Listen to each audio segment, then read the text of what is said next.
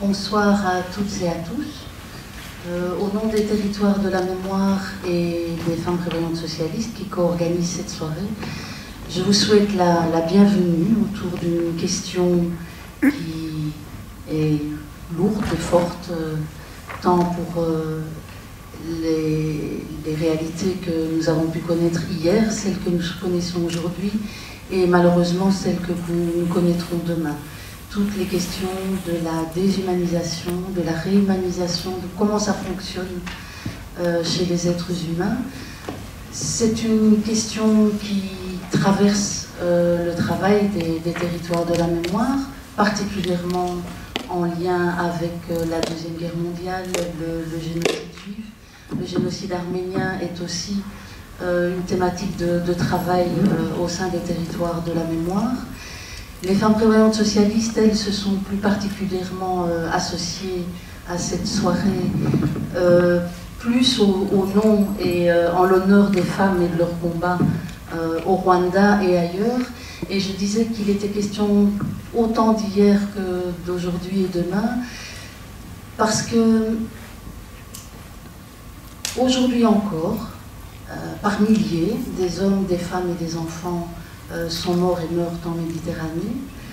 Euh, aujourd'hui encore, ils sont aussi nombreux à chercher d'autres routes, d'autres voies d'accès, euh, en espérant qu'elles seront plus sûres pour atteindre une vie meilleure. Pour eux aussi, torture, viol, disparition font partie du voyage. Et cette réalité-là, nous la voyons, nous en sommes témoins, nos enfants aussi. Et donc comment ces réalités-là vont s'inscrire dans leur mémoire, dans la manière dont ils vont construire leur vie? Comment se sont-elles inscrites dans, la mémoire de celles et ceux qui ont été victimes, témoins et qui sont nés après l'horreur au Rwanda euh, et, ailleurs Ce sont des questions que, nos invités vont aborder. Mais avant de, laisser Anne euh, vous les présenter.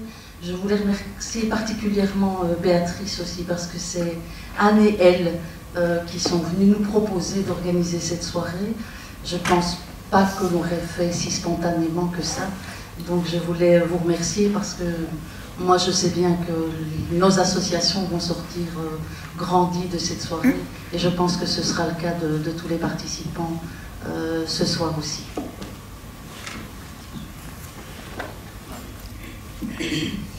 Bonsoir. Avant toute chose, chose très pratique, je vais vous demander si vous avez bien éteint vos GSM. Voilà, merci. Alors, euh, je vais aussi d'abord euh, excuser Alicia Jacques, qui ne peut pas être parmi nous parce qu'elle a eu un accident et elle n'est pas du tout en état euh, de participer à cette conférence. Je vais vous présenter nos différents invités. Je vais commencer par Madame Altounian, euh, Janine Altounian est germaniste. Elle a euh, collaboré à la. Elle a été co-traductrice des œuvres complètes de Freud aux presses universitaires de France et elle a été responsable de l'harmonisation des traductions dans l'équipe de révision. Elle est née de parents arméniens, rescapés du génocide de 1915. Et euh, dans tout son travail, euh, d'essayiste et d'intellectuel, euh, Janine Altounian écrit en, analysant sur ce qui se transmet d'un traumatisme collectif et sur la traduction, sur comment traduire ce trauma collectif. Elle a écrit de très très nombreux ouvrages, dont le dernier, L'effacement des lieux, qui est paru euh, ce janvier 2019.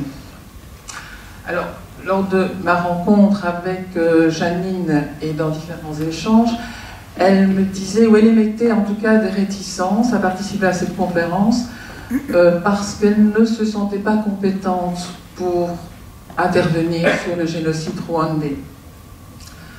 Euh, mais sa présence se justifie entièrement non seulement par l'acuité de, de, ses réflexions, mais aussi parce que euh, si bien sûr on abordera des caractéristiques spécifiques du génocide perpétré contre les, Tutsis, euh, cette conférence veut aussi, et avant tout, je crois, une réflexion sur les génocides qui, euh, transportent, qui mettent en jeu les mêmes euh, mécanismes et les mêmes ingrédients d'extermination et de déshumanisation. Et bien sûr, euh, toutes leurs conséquences et tous les, effets sur les victimes de ces génocides. Je vais vous présenter Jacques Roisin. Jacques Roisin est psychanalyste, il est chargé de cours en faculté de droit et criminologie à l'université de Louvain. Il travaille sur la victimologie et sur la dégradation des conflits sociaux en massacre et génocide. Depuis de nombreuses années, il travaille avec les personnes qui sont victimes de traumatismes graves, aussi avec des rescapés, des exilés. Et euh, durant plusieurs années, il s'est rendu au Rwanda à la rencontre de 20 justes de Hutus qui ont sauvé les Tutsis pendant le, génocide. Il a écrit un livre suite à ces rencontres, dont le titre est Dans la nuit la plus noire se cache l'humanité, récit des justes du Rwanda, paru en 2017. Et euh, suite à cette expérience rwandaise et en relation avec euh, son travail dans, le domaine clinique, dans le domaine de la violence, euh, il nous donne une, réflexion extrêmement approfondie sur ce qu'est ou sur la sollicitude humaine. Et Béatrice, Béatrice Moukalouline-Bois, euh, elle est à la recherche de ses trois enfants disparus lors du génocide. Pendant de très nombreuses années, elle a effectué seule ses recherches. Elle était à l'affût euh, du moindre élément, des moindres pistes, du moindre témoignage qui pourrait lui ouvrir des voies. Et en 2013, elle a décidé de fonder l'association de droit rwandais CCMES, Cri d'une mère qui espère. Cette association fonde ses recherches, ses actions sur la problématique du deuil impossible et de l'identité à savoir vivre euh, sans savoir si son enfant est mort ou vivant, et vivre sans connaître rien de ses origines. Et en 2015, elle a aussi créé la SBL CCMS Belgique, qui euh, soutient les actions de CCMS Rwanda en faisant un travail de diffusion, de sensibilisation et de recherche de fonds. Et je vais commencer par donner la parole à Béatrice pour son témoignage. Bonsoir. Je suis rescapée du génocide contre les Tutsis du Rwanda.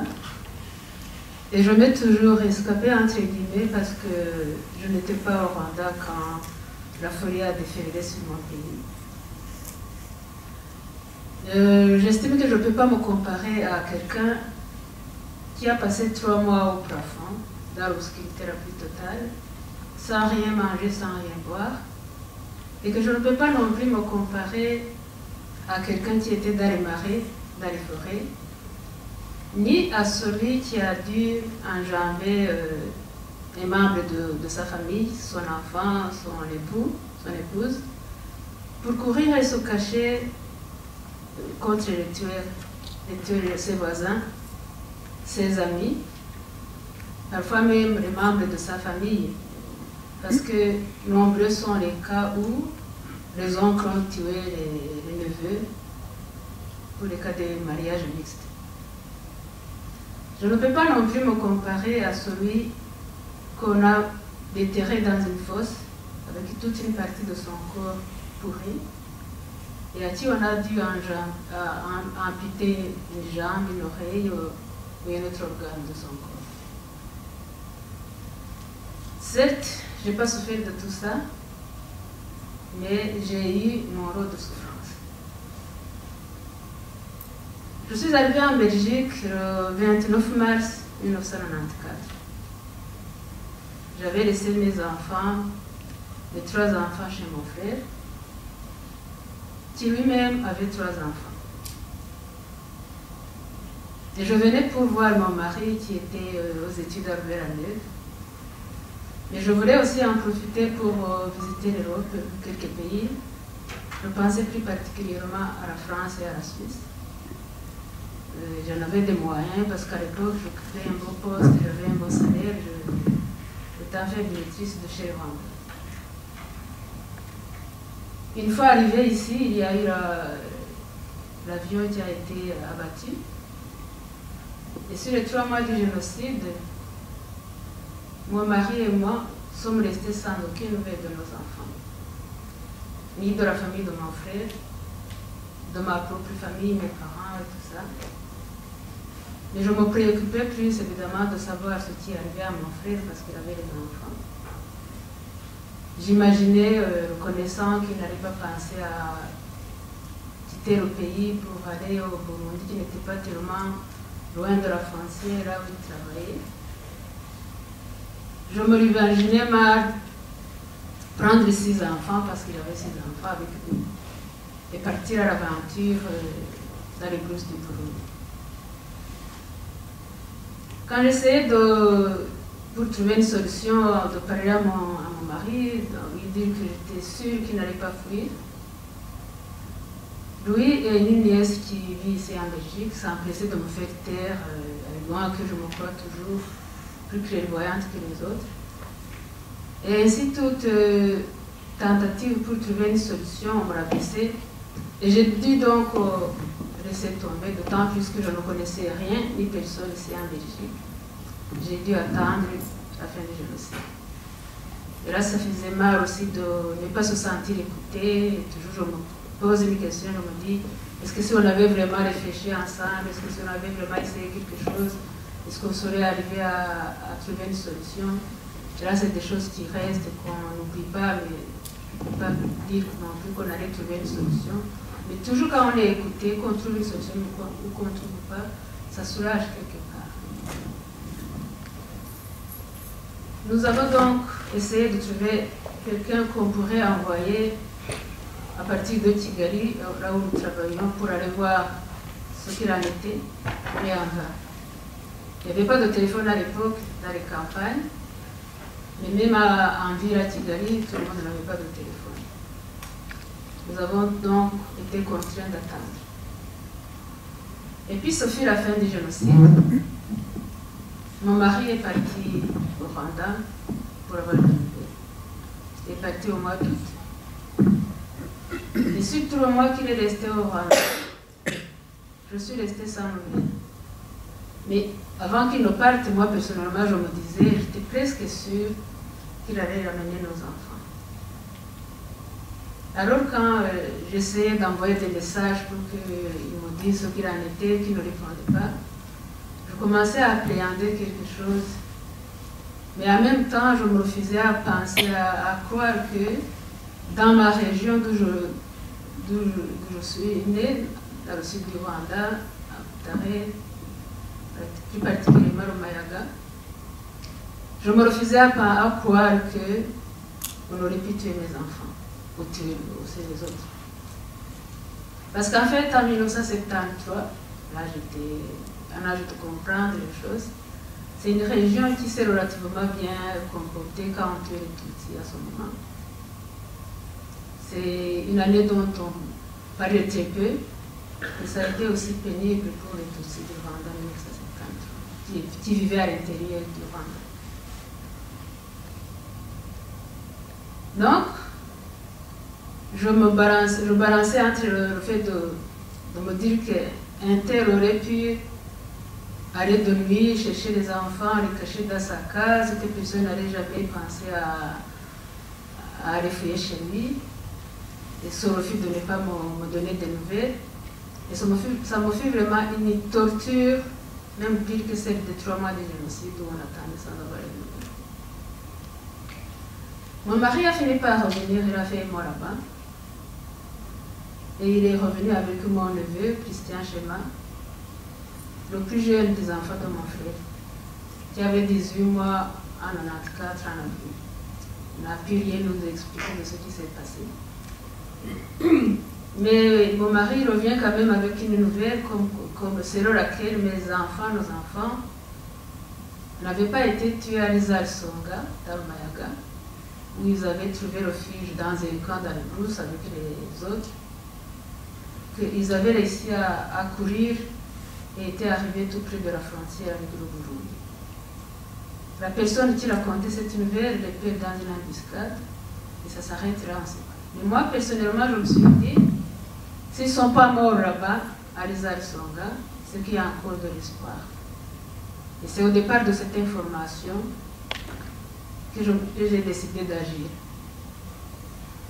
J'ai fait des longues recherches de mes enfants et de mes, deux nièces. Je suis allée euh, partout où on me disait qu'il y avait possibilité de, de, trouver, de rencontrer des gens qui étaient avec eux, Songa.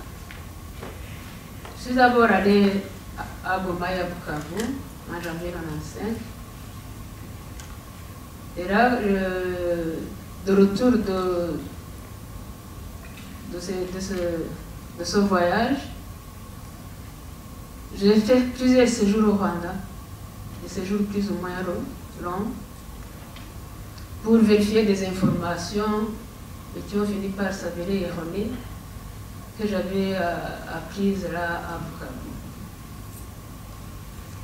Je suis allée dans les Gachacha, je suis allée euh, au Canada, je suis allée euh, au Congo-Brazzaville, je suis allée en France. Toujours, ça s'est avéré être des fausses alertes. Quelqu'un qui racontait avoir vu un enfant qui ressemblait au mien, ou l'histoire était proche de, de, la mienne. Et je suis allée, je suis allée à chaque fois que j'avais cette information. C'était toujours angoissant de partir comme ça, sans savoir euh, ce qu'on allait ramener. Et surtout face euh, aux personnes qui me finançaient pour mes déplacements, de revenir comme ça sans résultat, sans résultat probant. Je me sentais en fait comme si je, leur avais volé cet argent, puisque je n'avais rien à montrer, j'ai fait ceci, j'ai fait cela, voilà ce que ça a donné. Il y avait aussi notre regard qui était perçant parce que pas mal de personnes, tous mes compatriotes, avaient prononcé déjà les, les verdicts et les folles. Ainsi, euh, c'est une folie de rechercher ces enfants. Et voilà, donc, plus tard, les gens ont commencé à la plupart de ces personnes qui raillé ont commencé eux-mêmes, raillé ou presque, à me parler d'enfants qui revenaient au Rwanda, des jeunes, c'était des jeunes, n'étaient plus des enfants, qui revenaient au Rwanda, qu'on croyait morts et qui rentraient euh, à partir de 10 ans, 11 ans, qui commençaient à, à réapparaître. C'était des jeunes qui n'avait plus de parents, tous étaient morts. Peut-être un frère, une sœur de la grand-mère, un frère du grand-père. Et pour moi, c'était normal que personne ne les ait cherchés ou retrouvés. Parce qu'il n'y avait pas les parents pour tout arrêter, se mettre à les recherches. Je suis quand même allée les rencontrer pour euh, parler avec eux, savoir pourquoi ils ont fait tout ce temps sans venir et ce qui les avait décidé cette fois-ci à rentrer. J'avais dans l'idée de faire un, film documentaire donc pour recueillir tous ces témoignages, dans le but principalement de expliquer à ceux qui se demandent comment quelqu'un peut être en vie et ne pas se manifester tout ce temps. J'ai réussi à le faire euh, en 2012 quand je suis allée au Rwanda pour euh, commencer l'association Cri du cœur d'une mère qui espère. Là, j'ai pu le faire parce que je pouvais passer euh, suffisamment de temps sur place. Je pouvais aussi, euh, j'avais aussi les moyens, grâce aux amis ou grâce aux connaissances ici en Belgique, les compatriotes, mais aussi les amis en Belgique, qui ont contribué, qui ont cotisé pour que je trouve un montant me permettant de le faire. Parce qu'en fait, avant, quand j'allais au Rwanda, c'était pour un mois, maximum deux. Je n'ai pas pu me permettre de, faire des longs séjours. Ou carrément de me décider de me résoudre à y rester. Parce que pour plusieurs raisons, mais la principale étant que je trouve plus d'écoute, de, compréhension ici en Belgique que dans mon propre pays. Et cela, moi, je comprends tout à fait parce que les gens ont tellement souffert. Ils font face à plusieurs démons, plusieurs traumas. Et dans cette situation, c'est difficile Ce qui a fini par euh, me décider à commencer une association, c'est parti de l'histoire euh, d'une jeune fille, Evelyne Moutessi, qu'on a retrouvée en décembre 2010, 16 ans et demi après le génocide. Cette jeune fille avait son papa encore en vie à Tiberi, mais ils ont fait 16 ans et demi, tous autant sans se voir, alors qu'ils étaient dans le même pays. Là, j'ai compris que certainement il y avait d'autres parents dans la même situation que moi, qui n'avaient pas pu faire des recherches, faute peut-être de moyens, mais aussi pour éviter cette pression sociale et familiale qui, qui, nous prend pour des fous, pour des folles, parce qu'il y a vraiment une pression inhibe toute initiative, qui bloque, qui fait obstacle à tout raisonnement. Moi-même, je l'ai vécu. Et ça fait mal, d'autant plus que, après le génocide, je me demandais si réellement je n'allais pas perdre la peau. Alors quand on entend quelqu'un dire elle est folle, elle est folle, elle est folle, c'est difficile de, de, ne pas en souffrir. Je suis allée à l'orphelinat où on a retrouvé Evelyne, à Mondo, pour connaître le pays. Et là, quand j'étais là, quand je venais d'avoir tous les détails de ce qui fait que là, il restait tout ce temps sans qu'on le sache, c'est là même sur place que j'ai senti dans mon cœur un appel à commencer l'association. Sur place aussi, j'y apprends un autre problème, celui des enfants, des jeunes qui vivent sans connaître les origines, sans savoir ni le nom, le nom qu'ils ont reçu de leurs parents, sans savoir d'où ils sont nés, quel village, quelle ville, quelle, commune, dans le temps c'était des communes. Et donc, je suis revenue euh, avec l'idée que mon, mon travail au départ, qui consistait à rechercher mes enfants, il s'étend à tout un groupe en 2012, à tous les parents qui ne savent pas ce que sont devenus les enfants, et à tous ces jeunes qui ne savent pas les, les origines. J'étais motivée par le fait que, dans mon expérience depuis euh, mon temps d'enfance, j'avais euh, quelques empreintes de bonté et d'humanité auprès de mes voisins, de mon entourage. En 1959, quand on tuait les Tutsis, quand on chassait les Tutsis, j'avais trois ans, j'ai quelques souvenirs. En 1973, à 16 ans, j'étais à l'école secondaire, mais tout ce temps, euh, je peux dire qu'aucun cheveu ne fut arraché de ma tête. Et plus tard, en 1990, quand on a fait les Tutsis pour les mettre en prison après l'entrée du FPR, on s'étonnait toujours, quand même on s'est étonné même nos connaissances, que ni moi ni mon mari n'avons été mis en prison.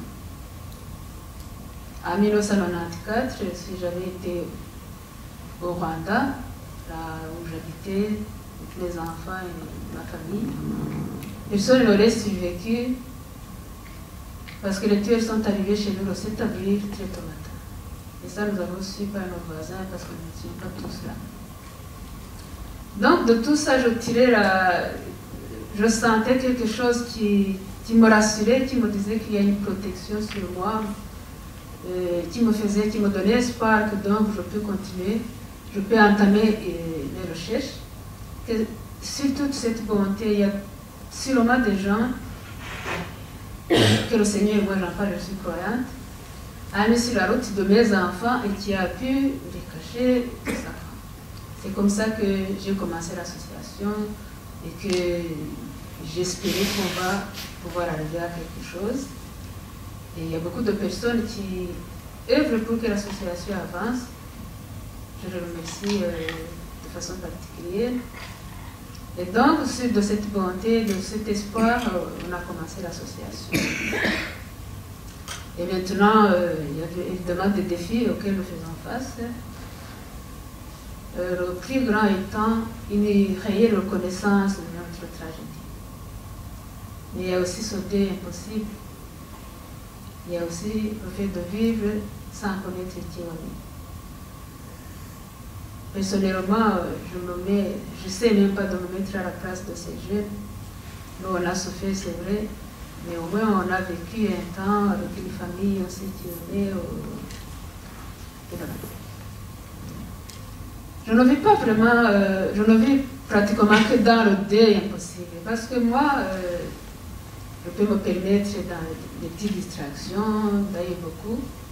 Mais là même, là, euh, je suis toujours aux aguets. Je me dis, d'être ici dans la salle, je vais trouver quelqu'un qui peut me donner une information, qui peut me, me filer un contact, un contact qui peut me faire, permettre de faire avancer l'association. pourquoi pas pour retrouver mes enfants. Parce qu'un deuil, en fait, pour le faire, il faut d'abord qu'on ait appris. On ait appris que l'être cher est disparu. Ici, rien ne nous dit qu'ils sont morts. Et cela d'autant plus qu'on continue à entendre des nouvelles des enfants, des jeunes qui reviennent au Rwanda, qu'on retrouve ici, qu'on retrouve là.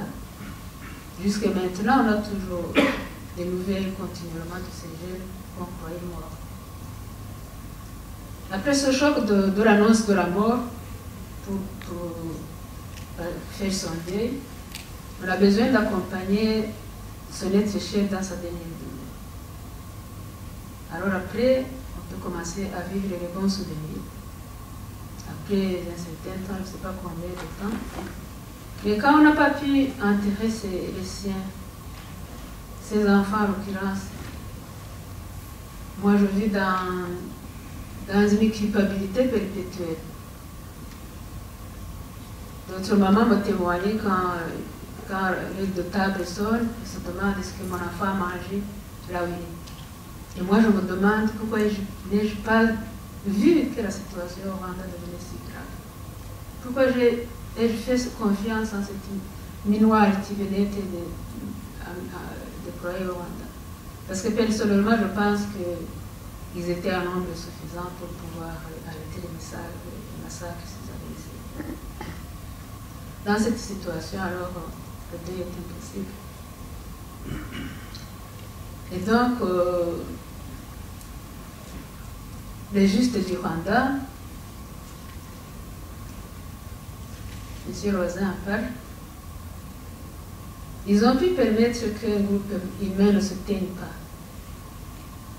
Pour moi, c'est la preuve qu'avec un peu de courage, on peut toujours rentrer en soi-même et réveiller le, le fond d'humanité qui se trouve. Parce que tout ceci, on nous, dit humain, c'est qu'on a de l'humanité. Donc, je vous invite à soutenir les rescapés du génocide contre et aussi d'autres massacres. C'est bien d'être rescapé, mais on en sort complètement détruit.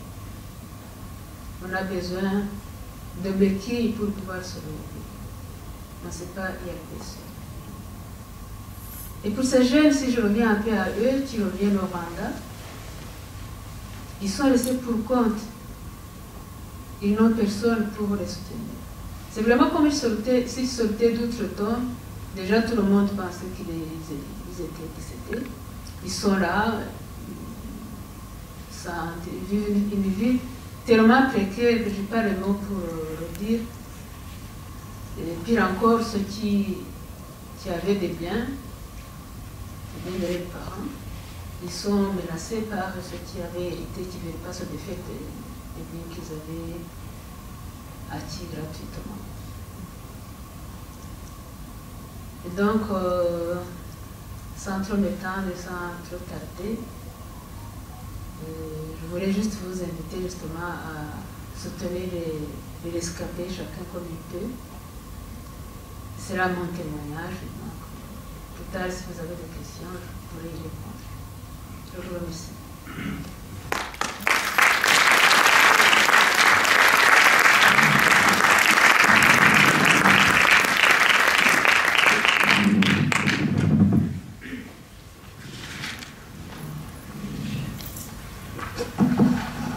Janine, vous pouvez prendre la parole. Oui, d'accord.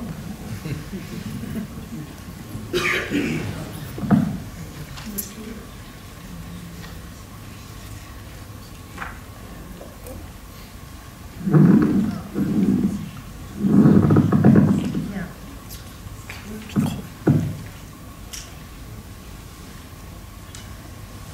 Alors, je voudrais euh, un micro, je prends un micro.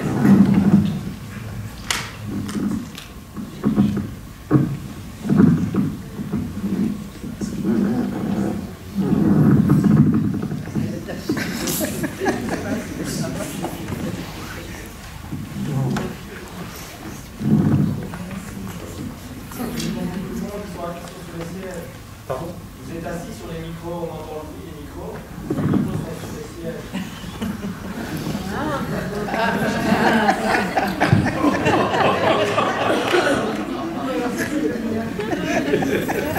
C'est ouvert là, il marche.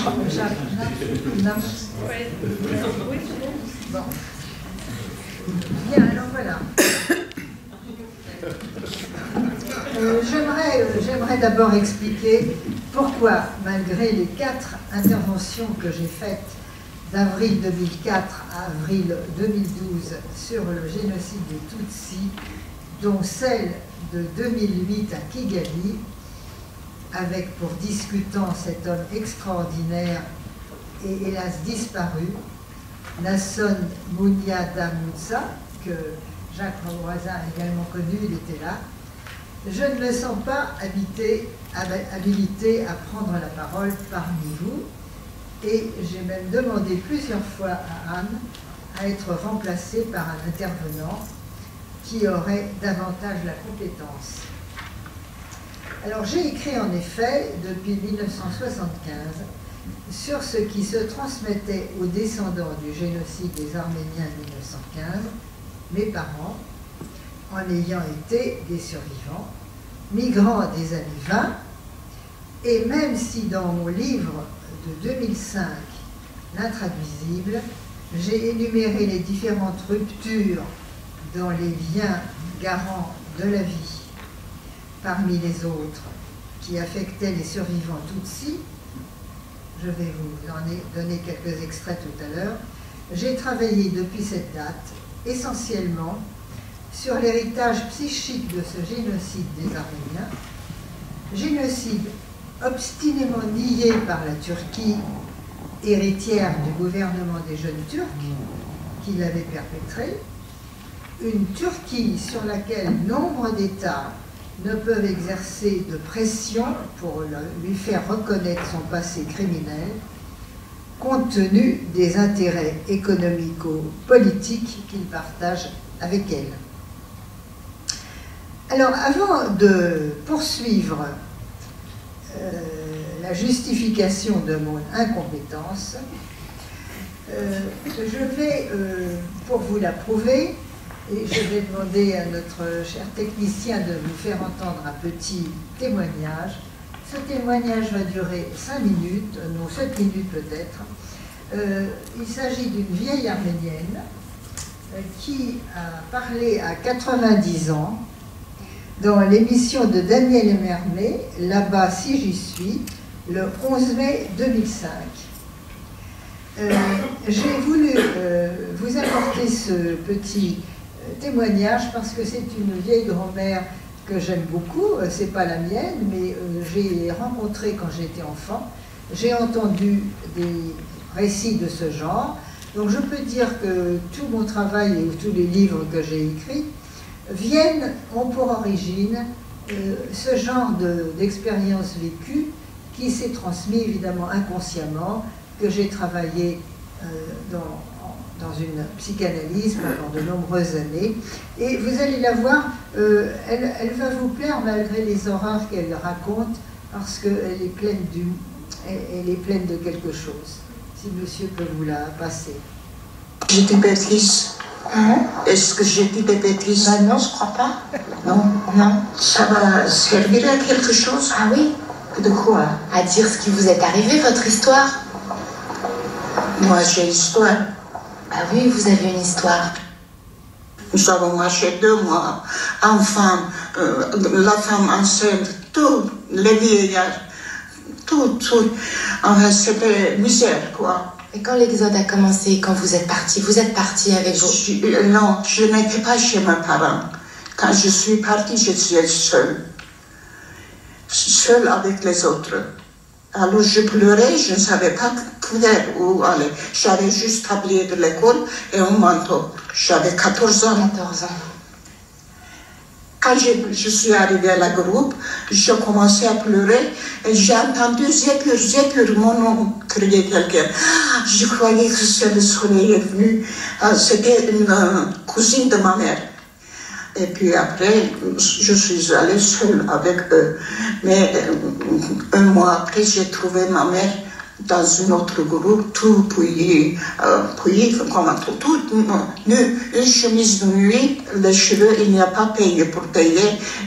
Alors, vous savez qu'est-ce que j'ai senti Je sentais comme une mendiante, ma mère. J'étais très bouleversée. Alors, comme ça, nous sommes ensemble, je continuais nos chemins. J'avais deux frères, deux sœurs, plus petits que moi. Après huit jours, à peine, mon frère est mort, huit ans. Le matin, je suis levée, il est mort à côté de moi. Je dis, maman, Kourken est mort, il n'a pas pleuré, ma mère. Elle a dit, c'est bien fait, vous êtes sauvés. Après quelques jours, c'est ma mère morte, ou pas morte, je ne sais pas. Et nous sommes tombés dessus pour pleurer. Et gendarme est venu, allez, marchez, marchez. Et en pleurant, nous avons quitté. Ma mère était morte, ou pas morte, je ne sais pas.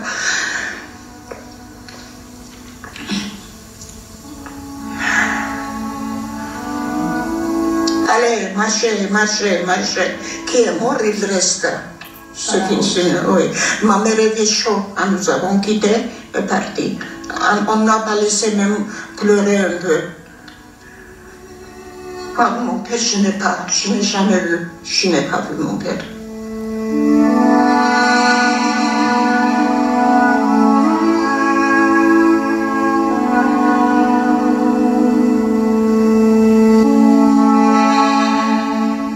Combien de jours j'ai marché, je ne sais pas.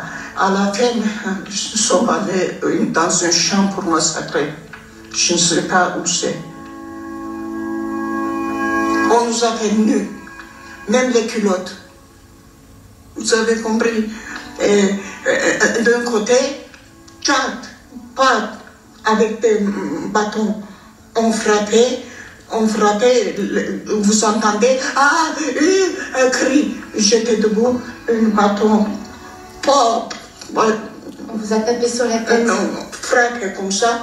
Moi, je croyais que c'était lumière partout, euh, après sombre, et puis j'ai tombé. J'ai tombé. Et je vois qu'ils ont commencé à frapper à ma soeur de 5 ans. Ah, j'ai dit tout de suite, faites semblant comme une mort, je dis. Faites semblant d'être mort. De mort allongée à côté de moi, et puis n'espérez pas. Ah, les mots échappent, vous savez, quand, quand je, pense tout ça, les mots échappent. Mes blessures étaient très grandes ici et ici. Vous aviez des blessures sur le front et sur la tête. Elle monte ses cheveux. Vous avez encore les cicatrices. Comme ça, c'était comme ça. Trois morceaux étaient ma, ma, ma belle. Et les Arméniens après, ils sont guéris. Ça a duré plus qu'un an. il n'y avait pas tout ce qu'il faut pour me soigner. Je prenais sous le, de l'eau coulante, comme ça. Il y avait des poux, il y avait des verres, il y avait tout ce que vous voulez. Ça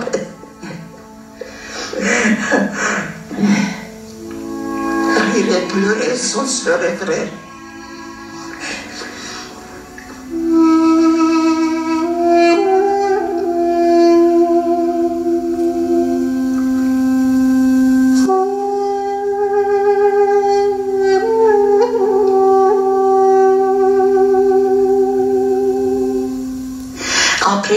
Est tombée, nous avons resté comme ça, plein de sang. J'ai entendu une voix. Moi, je deviens musulmane, amenez-moi. Moi, je deviens musulmane, amenez-moi. Une fille que j'ai connue la voix. C'était notre voisine. Alors, j'ai pris courage. Il y avait euh, la lune seulement. Je dis, moi aussi, je deviens musulmane. Amenez-moi aussi. J'ai eu peur quand elle va partir cette fille je resterai seule avec ma soeur. J'ai eu peur, je dit, moi aussi, je deviens musulmane, amenez-moi. Amenez-moi, devenir musulmane, qu'est-ce que c'est, je ne sais pas. Moi, je suis, j'ai peur, je suis arménienne, ça, il est là. On ne peut, personne ne peut pas prendre, je pensais. personne ne peut pas prendre mon arménienne. Euh, après, je suis assise comme ça, toute nue. Un homme était venu, un kurde est venu. Euh, j'ai dit, je suis toute nue, je ne peux pas. Il a pris une chemise sanglante de sur une mort. Il m'a donné, j'ai pris comme ça devant moi. Et je suis levée. Et ma soeur toute nue, elle s'est toute frappée derrière comme ça. Tout était gonflé après, noir. Son dos. Le dos de ma soeur de 5 ans, savez. après six mois, elle est morte. Tout ça, c'est ce que j'ai vécu. Hein? Et encore, encore, il y a tant de choses que j'ai oubliées. Je n'ai pas oublié, mais je n'ai pas le temps de penser. Et après, où j'étais, je suis perdue toutes les choses comme photo maintenant devant moi, ils viennent, je ne sais pas où je suis à ce moment-là. Devant moi, cette chambre, tout. Vous voyez tout? Oui, je revois toujours. Souvent, je pleure la nuit euh, parce que ça vient devant moi, c'est le tableau, tous les mots, tout ça.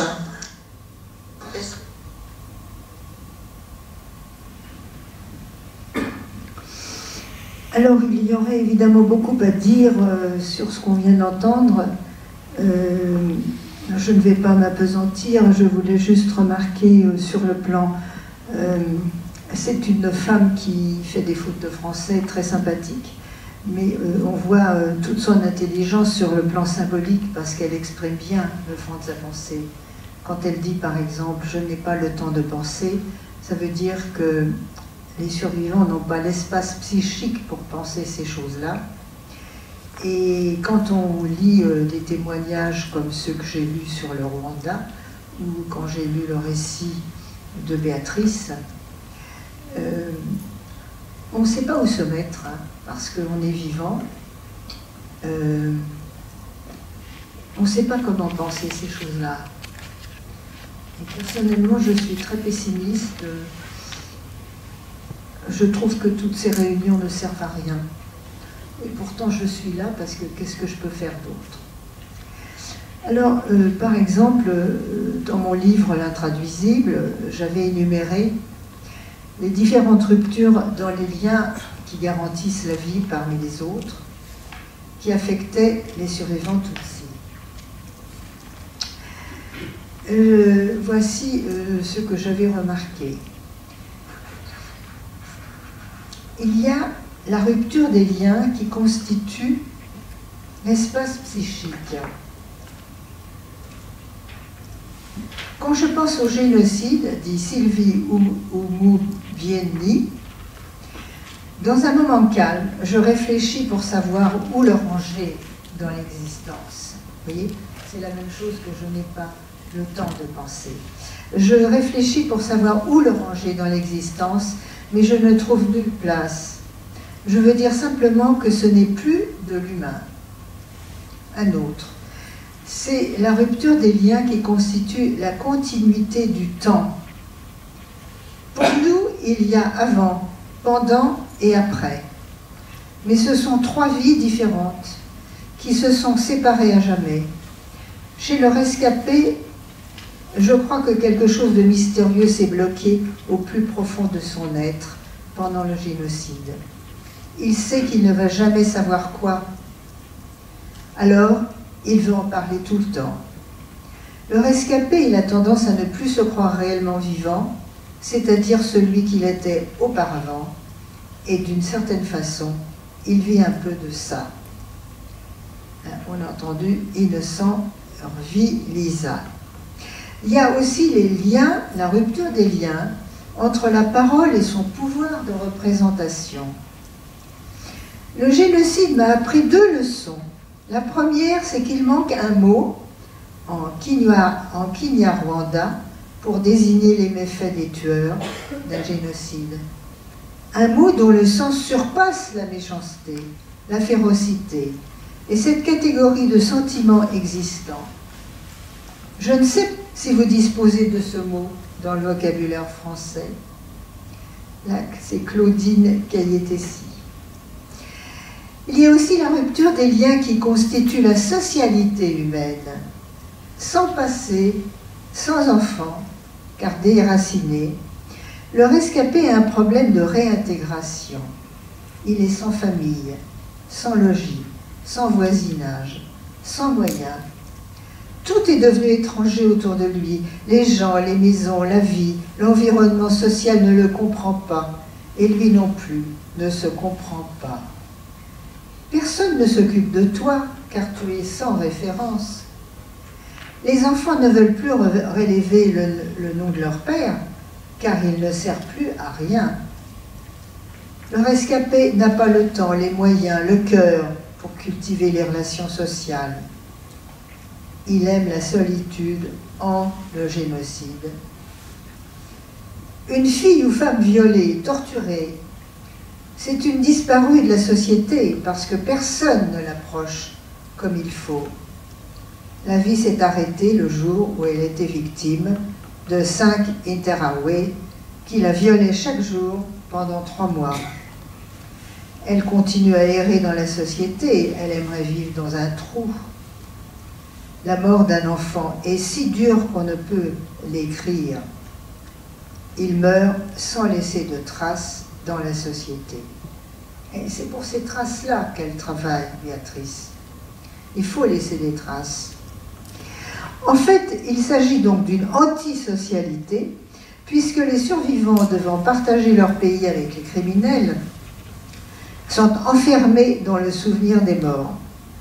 Alors je dois dire que dans toutes les conversations, celles que j'ai eues tout à l'heure avec Béatrice, je trouve que de tous les génocides, celui des Tutsis est le plus invraisemblablement difficile à supporter et horrible. Parce que comment peut-on vivre à côté des gens qui ont tué, massacré, coupé en petits morceaux vos parents? C'est pas possible. En plus, on leur demande ça, moi, j'avoue que c'est pas possible.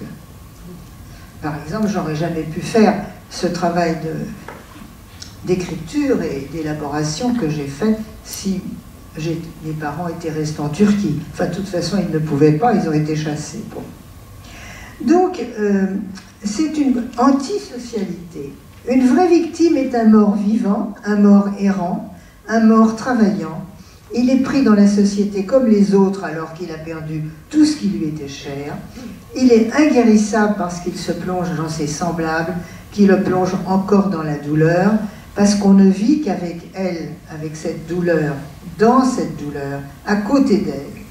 Nous sommes heureux dedans, nous sommes heureux dedans, tellement que nous pouvons passer des jours entiers ensemble avec d'autres rescapés, sans se lasser de parler du passé. C'est la même spéciosa. Alors, euh, les derniers liens, ce sont euh, ceux qui présupposent l'amour et la procréation. Toute tue est devenu un possible tueur pour toi, car même ceux qu'on a connus et aimés ont tué. Ceux qui se remarient, c'est par besoin corporel. L'amour est tué avec la première femme ou le premier mari.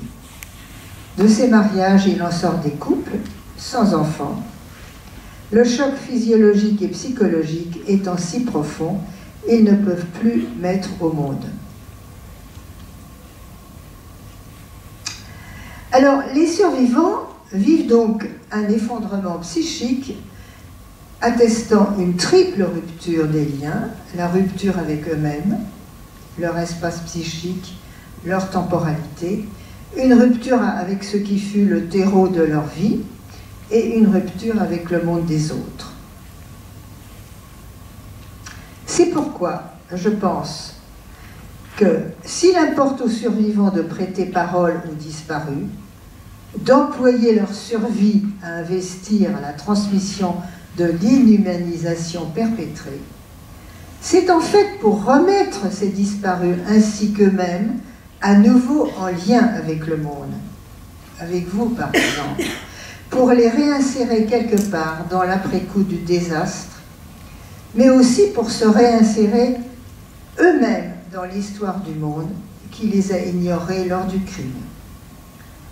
C'est pourquoi je pense que la créativité de Béatrice Mukamulinda, voulant donner sens à sa vie et à celle de toutes ces mères qui vivent dans l'espoir de retrouver leur enfant, sa recherche inlassable des traces de ses enfants, sa création d'associations de mères en quête elles aussi de leurs enfants, viennent alors confirmer la conviction que j'ai acquise de ma propre histoire que pour pouvoir survivre à une entreprise de déshumanisation, on ne peut que réparer l'observance de quelques impératifs anthropologiques fondamentaux de la condition humaine.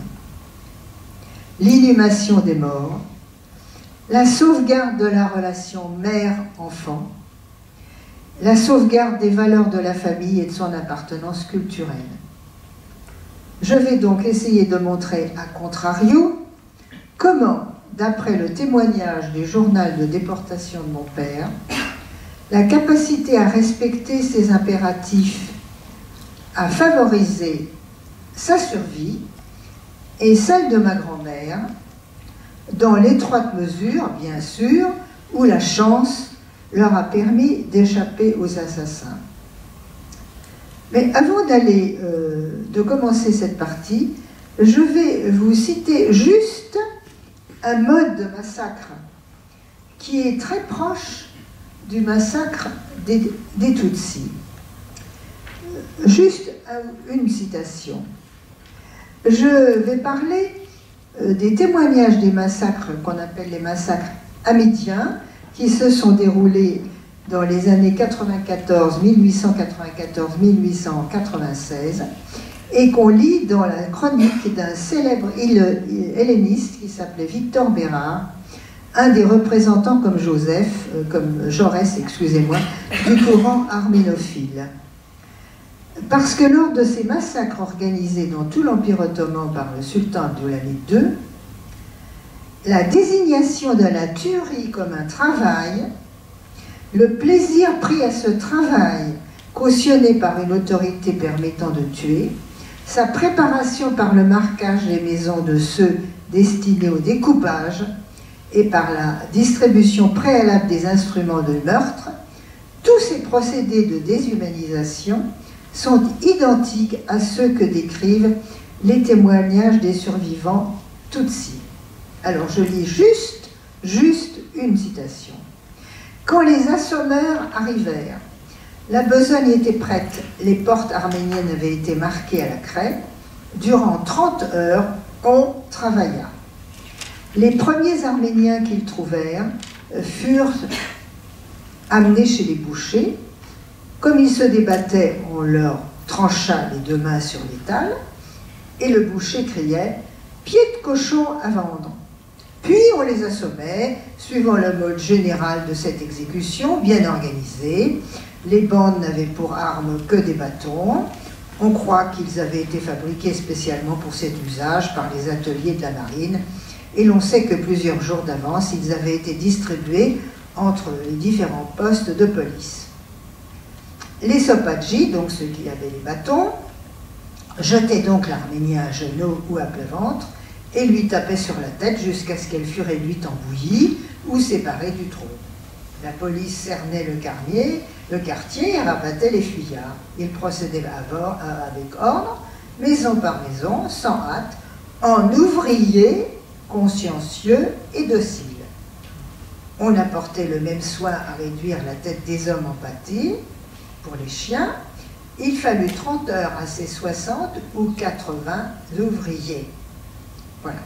C'était une petite parenthèse euh, pour dire que la, déshumanisation euh, est apparemment universelle. Alors, dans ma dernière partie, qui est donc plus de mon terrain, je vais essayer de nous insuffler quelques envies de vivre, parce qu'on a entendu pas mal d'horreurs, en soulignant donc, dans le journal de déportation de mon père, comment les moments où lui et sa mère parviennent à se maintenir en vie sont en même temps ceux où il leur est impossible de renoncer à cette observance que j'appelle celle des impératifs anthropologiques fondamentaux, ou comment, par exemple, le lien de l'adolescent à sa mère fut un facteur déterminant de leur survie à eux deux. Alors, le double attachement de l'adolescent, cet adolescent de 14 ans qui était mon, père, aux valeurs de sa famille, de son défunt père, en même temps que celui à sa mère qui le rend actif, ingénieux et courageux face à la menace de mort, se manifeste éloquemment dans cette scène que vous allez entendre, qu'il rapporte, donc quatre ans plus tard, probablement en 1919, d'après son traducteur, il s'agit du moment où, à la mort du père, il devient chef de famille pour sa mère et son jeune frère. Il écrit Le jour du décès de mon père, ils ont de nouveau déporté. De nouveau, ils se sont mis à battre ma mère. Nous deux frères, nous pleurions. Nous ne pouvions rien faire, ils étaient comme une meute de chiens. Ils ont dit à ma mère, ton malade est mort. Et ma mère, nous partirons quand nous aurons enterré le mort. Ils ont répondu, non, vous ferez comme les autres. Les autres, en fait, abandonnaient les morts. Par exemple, la mère, on a entendu, elle a dit, elle était chaude quand on l'a quittée, on n'a même pas pu la pleurer. Donc, euh, les autres abandonnaient les morts, et la nuit, les chacals les dévoraient. J'ai vu que ça n'allait pas et qu'il fallait faire quelque chose. J'ai pris un flacon de 75 d'Irène, je l'ai rempli d'huile de rose et je suis allé voir tout de suite le chef du convoi de déportation. Je lui ai dit, laisse-nous encore aujourd'hui, nous partirons avant avec le prochain convoi avec les autres. Heureusement, il n'a rien dit. Nous sommes restés encore un jour. Nous avons creusé une fosse longue de deux archines et ayant payé cinq courouches au prêtre, nous avons enterré mon père. Alors, on lit certes dans ces quelques lignes la réaction d'un jeune garçon qui, meurtri par le spectacle de sa mère battue, veut la défendre, mais également le partage avec elle d'un rituel anthropologique de l'humanité et de sa culture, d'un devoir sacré accompli par cette mère Antigone au péril de sa vie, inhumer le corps de l'époux. Ces deux motivations se rejoignent dans sa prise de décision quand il dit et voit que ça n'allait pas, qu'il fallait faire quelque chose. Décision qui amène dans son récit les je salvateurs qui suivent. J'ai pris un flacon, je l'ai rempli, je suis allé voir, je lui ai dit, et puis arrive le nous, qu'il forme avec la mer, nous sommes restés, nous avons creusé, nous avons enterré, pour y inclure à la fin le mon de son lien au Père, nous avons enterré mon Père. Alors, le contenu de ce journal de déportation, que j'ai découvert en 1978, quelques 60 ans après sa rédaction, transmet un message certain. Il montre ce qui soutient l'aptitude de l'adolescent à résister à la menace de mort, bien évidemment dans l'infime mesure où l'entreprise exterminatrice montre quelques négligences dans son exécution. Le sens qu'il restaure renvoie certes à cette scène princeps de l'inhumation du père, mon grand-père, mais il renvoie surtout à ses effets. On peut notamment penser que cette scène appela à la génération suivante, le fils, et dans un environnement non menacé, en France, à Lyon, son expression symbolique dans la mise en mots par le fils de cette mise en terre du père par la mère. Grâce à l'observance des valeurs familiales et culturelles, cette inébranlable fidélité à soi enjoignit probablement à l'adolescent devenu un jeune homme de 18 ans d'être également le chroniqueur d'un témoignage que je pus lire dans sa traduction et transmettre. Alors une fois le père enterré avec l'accompagnement d'une prière, commence alors un périple infernal en compagnie, de cette mère à laquelle il va se voir arracher. Je cite, Nous n'avions plus d'argent, c'est pourquoi nous avons commencé à manger des herbes. Nous avons essayé de continuer ainsi pendant un mois, mais on a vu qu'on allait mourir. On faisait à peine deux pas et on tombait par terre. Ma mère a réfléchi. Moi, pour mourir, je mourrai. Vous, il ne le faut pas. C'est ainsi qu'elle nous a donné, nous deux, aux Arabes. L'Arabe nous a monté sur son âne. Six heures plus tard, nous sommes arrivés à son campement. Il nous a donné du pain. Nous avons bien mangé. Il m'a pris dans sa tente. Alors, la personne de cette mère est du reste plusieurs fois introduite par ces mots qui semblent la caractériser. Ma mère a réfléchi. L'adolescent l'admire certainement pour prendre soin de la doter ainsi d'une capacité à penser qu'il perçoit en elle, au sein même des moments où règne l'imminence de la mort. Elle est en somme une femme de tête. Son repère de vie dans un chaos mortel. Comme tous les êtres sensibles à la hiérarchie des urgences, cette grand-mère que je n'ai pas connue réfléchit en mettant rapidement en balance sa propre mort, qui n'interrompra pas la, lignée, et celle de sa descendance, qu'il faut empêcher à tout prix.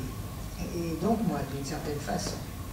À une mort certaine de l'enfant s'il reste auprès d'elle, elle préfère donc l'incertitude de son destin auprès d'un étranger auquel elle l'abandonne. Elle se sépare de son fils qui donnait sens à sa vie pour qu'il risque de survivre et de reprendre un jour le cours de ce sens interrompu. Mais séparée d'elle pour survivre, ce fils désire aller la rechercher pour la prendre avec lui et la soigner quand elle attrape le typhus. Mais moi, je ne pouvais pas rester tranquille, je voulais m'enfuir auprès de ma mère. Et je n'étais plus en état de marcher car j'étais content, car j'allais voir ma. Alors ces phrases où les affects sous-jacents sont discrètement affleurés dans le texte peuvent se regrouper en, gros sous quatre rubriques.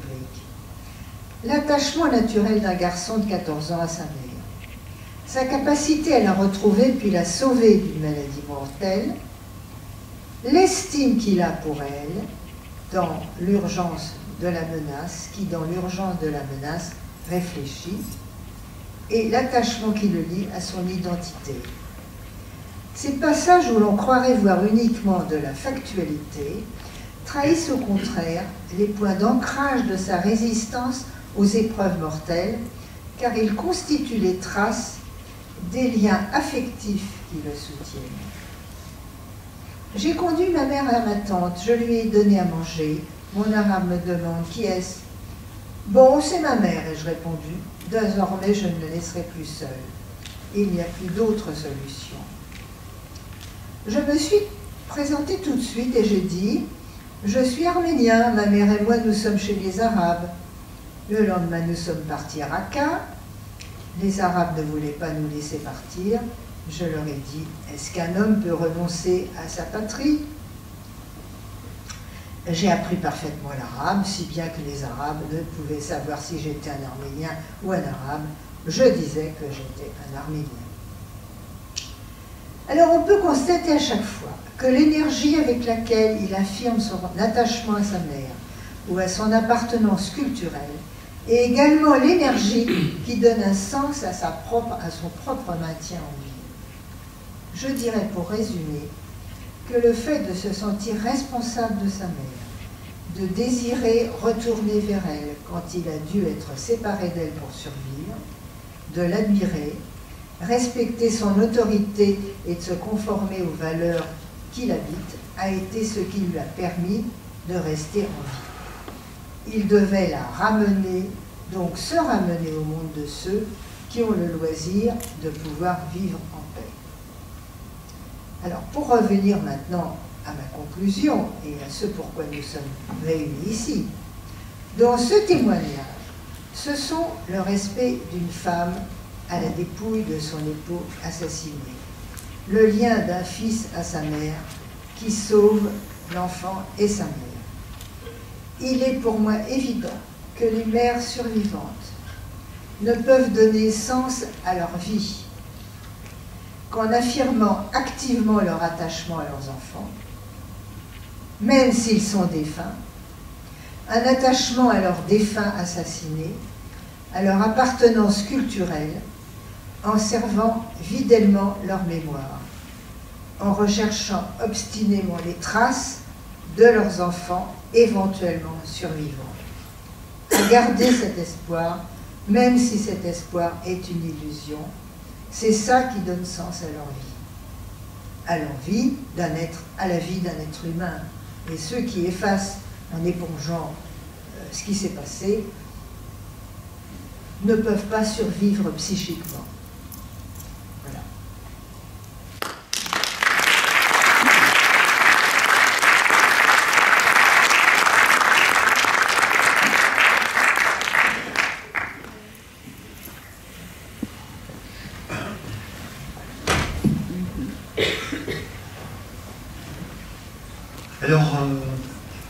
s'est passé quelque de très fort pour moi la première fois que je suis allé au Rwanda.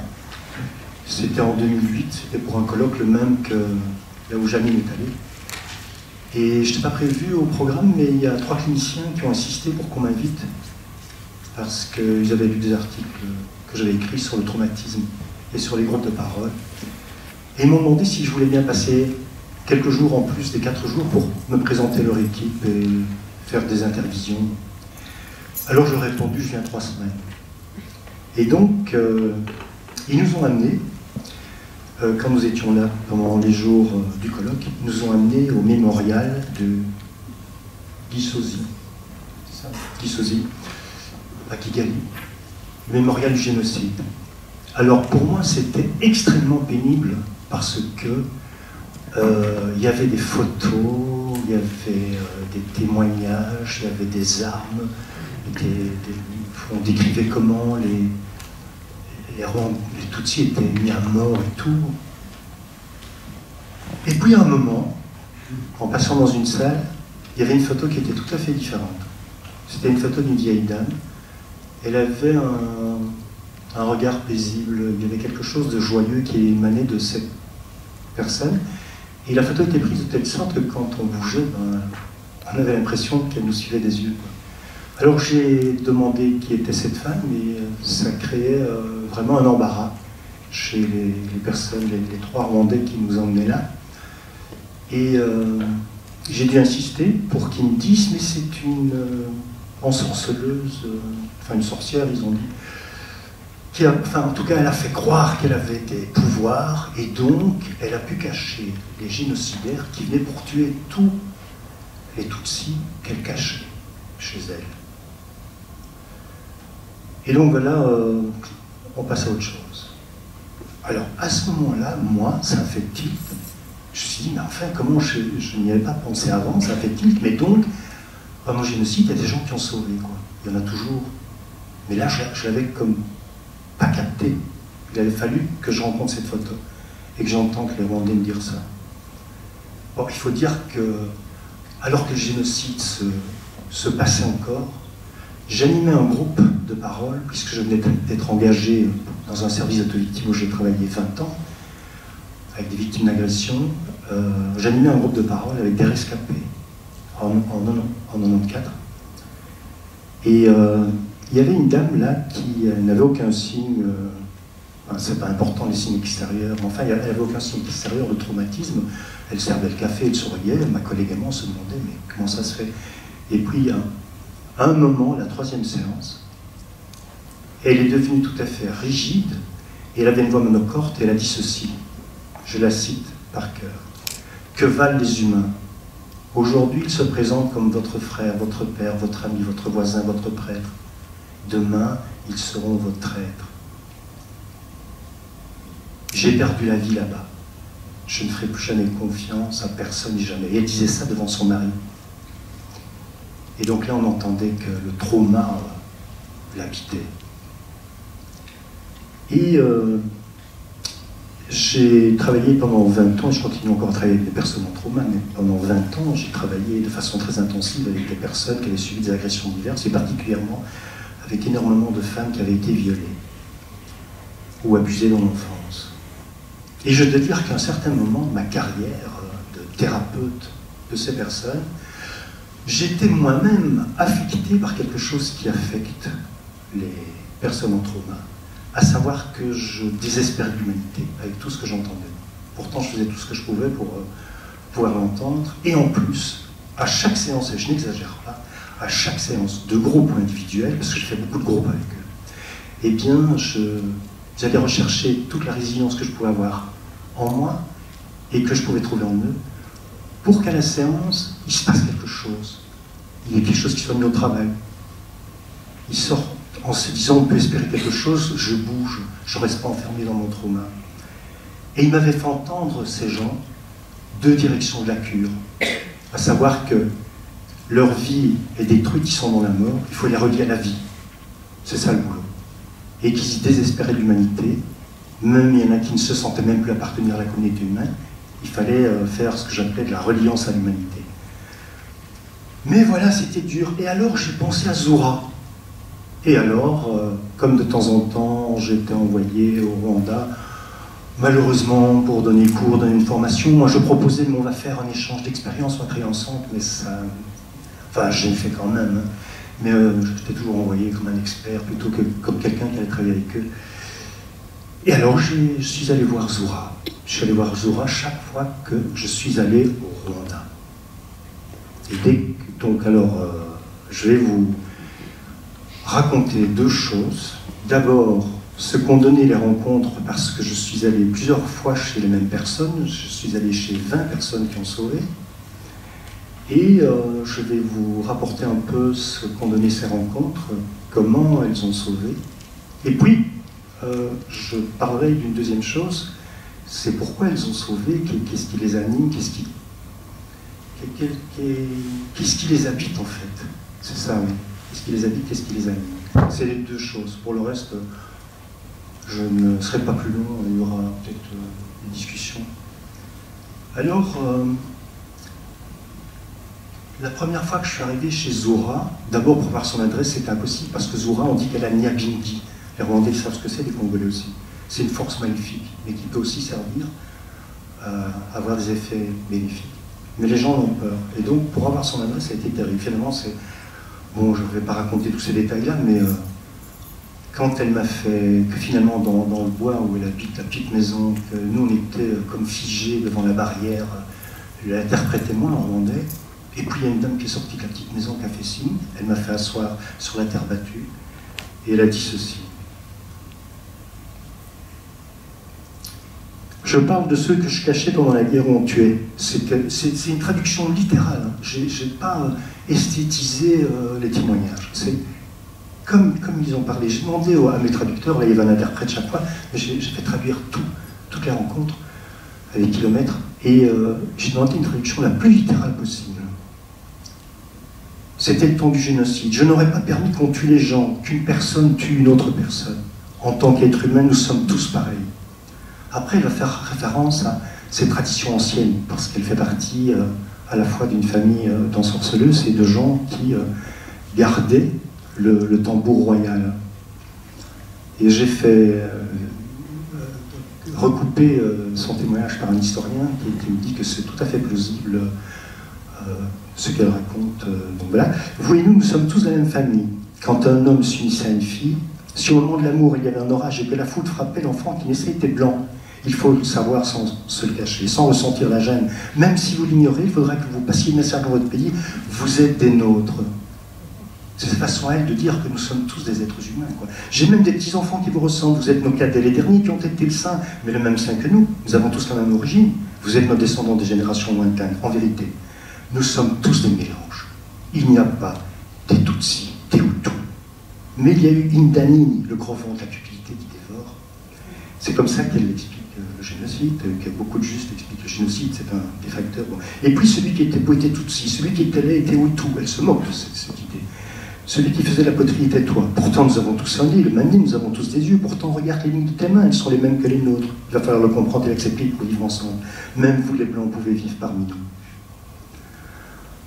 Alors, euh, à la fin de, l'entretien, euh, je lui demande si on pourra euh, aller chez quelqu'un qu'elle a sauvé, elle prend son bâton, elle dit on y va. Et là, quand elle est dans son jardin, elle ne tient plus le même discours qu'elle a tenu à quelques autres blancs qui sont allés l'interviewer, à savoir qu'elle a fait croire qu'elle avait des pouvoirs. Non, elle parle de ses vrais pouvoirs.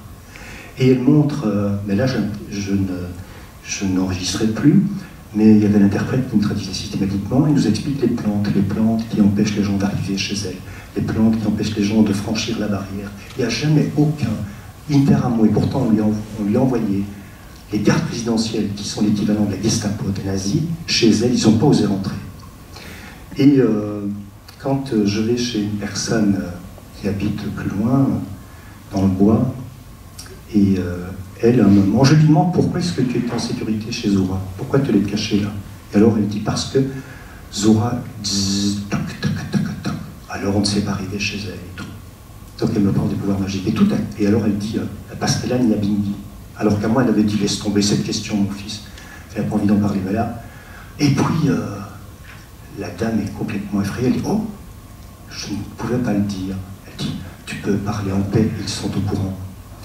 Et donc voilà, la, première rencontre, je, commence par elle parce que c'est celle qui m'a le plus impressionné et c'est la personne avec qui je me suis le mieux entendu puisque bon, finalement les, les gens y accourus euh, dans, tout le circuit rwandais euh, où je travaillais que j'étais le fiancé de Zora, donc vous voyez comment on s'entendait bien.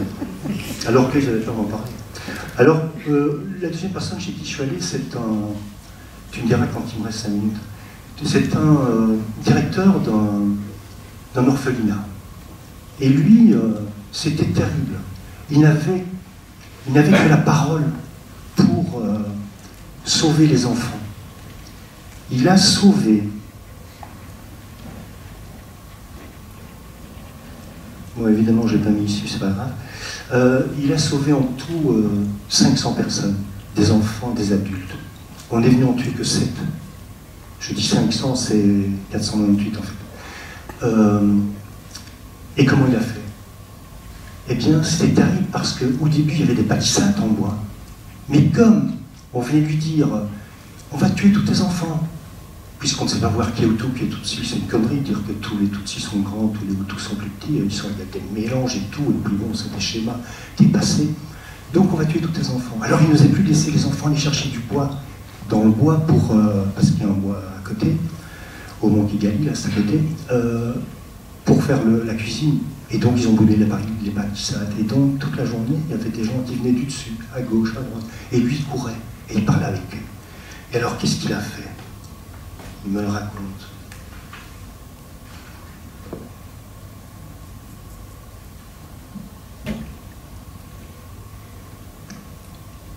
Je disais des choses et je ne savais pas, pas moi-même d'où les mots venaient. J'ai donné de l'argent. Et puis quand il n'a plus d'argent de réserve, ben, il a demandé, tout le monde a donné tout ce qu'il avait dans ses poches. Mais d'autres aussi ont donné de l'argent et ont été tués. quand je me suis retrouvé à court d'argent, j'ai donné des vivres, parce que, coïncidence extraordinaire, qui lui fait dire que Dieu est intervenu, c'est que 15 jours avant, il est passé à la Croix-Rouge, il allait régulièrement avec un camion chercher des vivres. Mais la Croix-Rouge lui a dit, mais écoute, prends encore un camion, parce que j'ai, on a plein de vivres. On ne sait jamais que tu es euh, tout à coup euh, plein d'enfants qui arrivent. Ah, il a dit d'accord, euh, j'en ai pas besoin, mais je les prends. Et en fait, ils avaient des vivres parce que, comme depuis 1993, bon, le FPR avait fait une avancée terrible, il y avait près d'un million de réfugiés aux abords de Kigali. Et la communauté internationale avait donné des vivres à la Croix-Rouge pour les nourrir. Mais il refusait les vivres parce qu'il disait que le FPR empoisonnait les vivres. Et donc il, il s'est retrouvé avec Chez lui, il a donné les vivres aux génocidaires qui venaient pour tuer. Et puis après, il n'avait plus rien. Alors il leur parlait.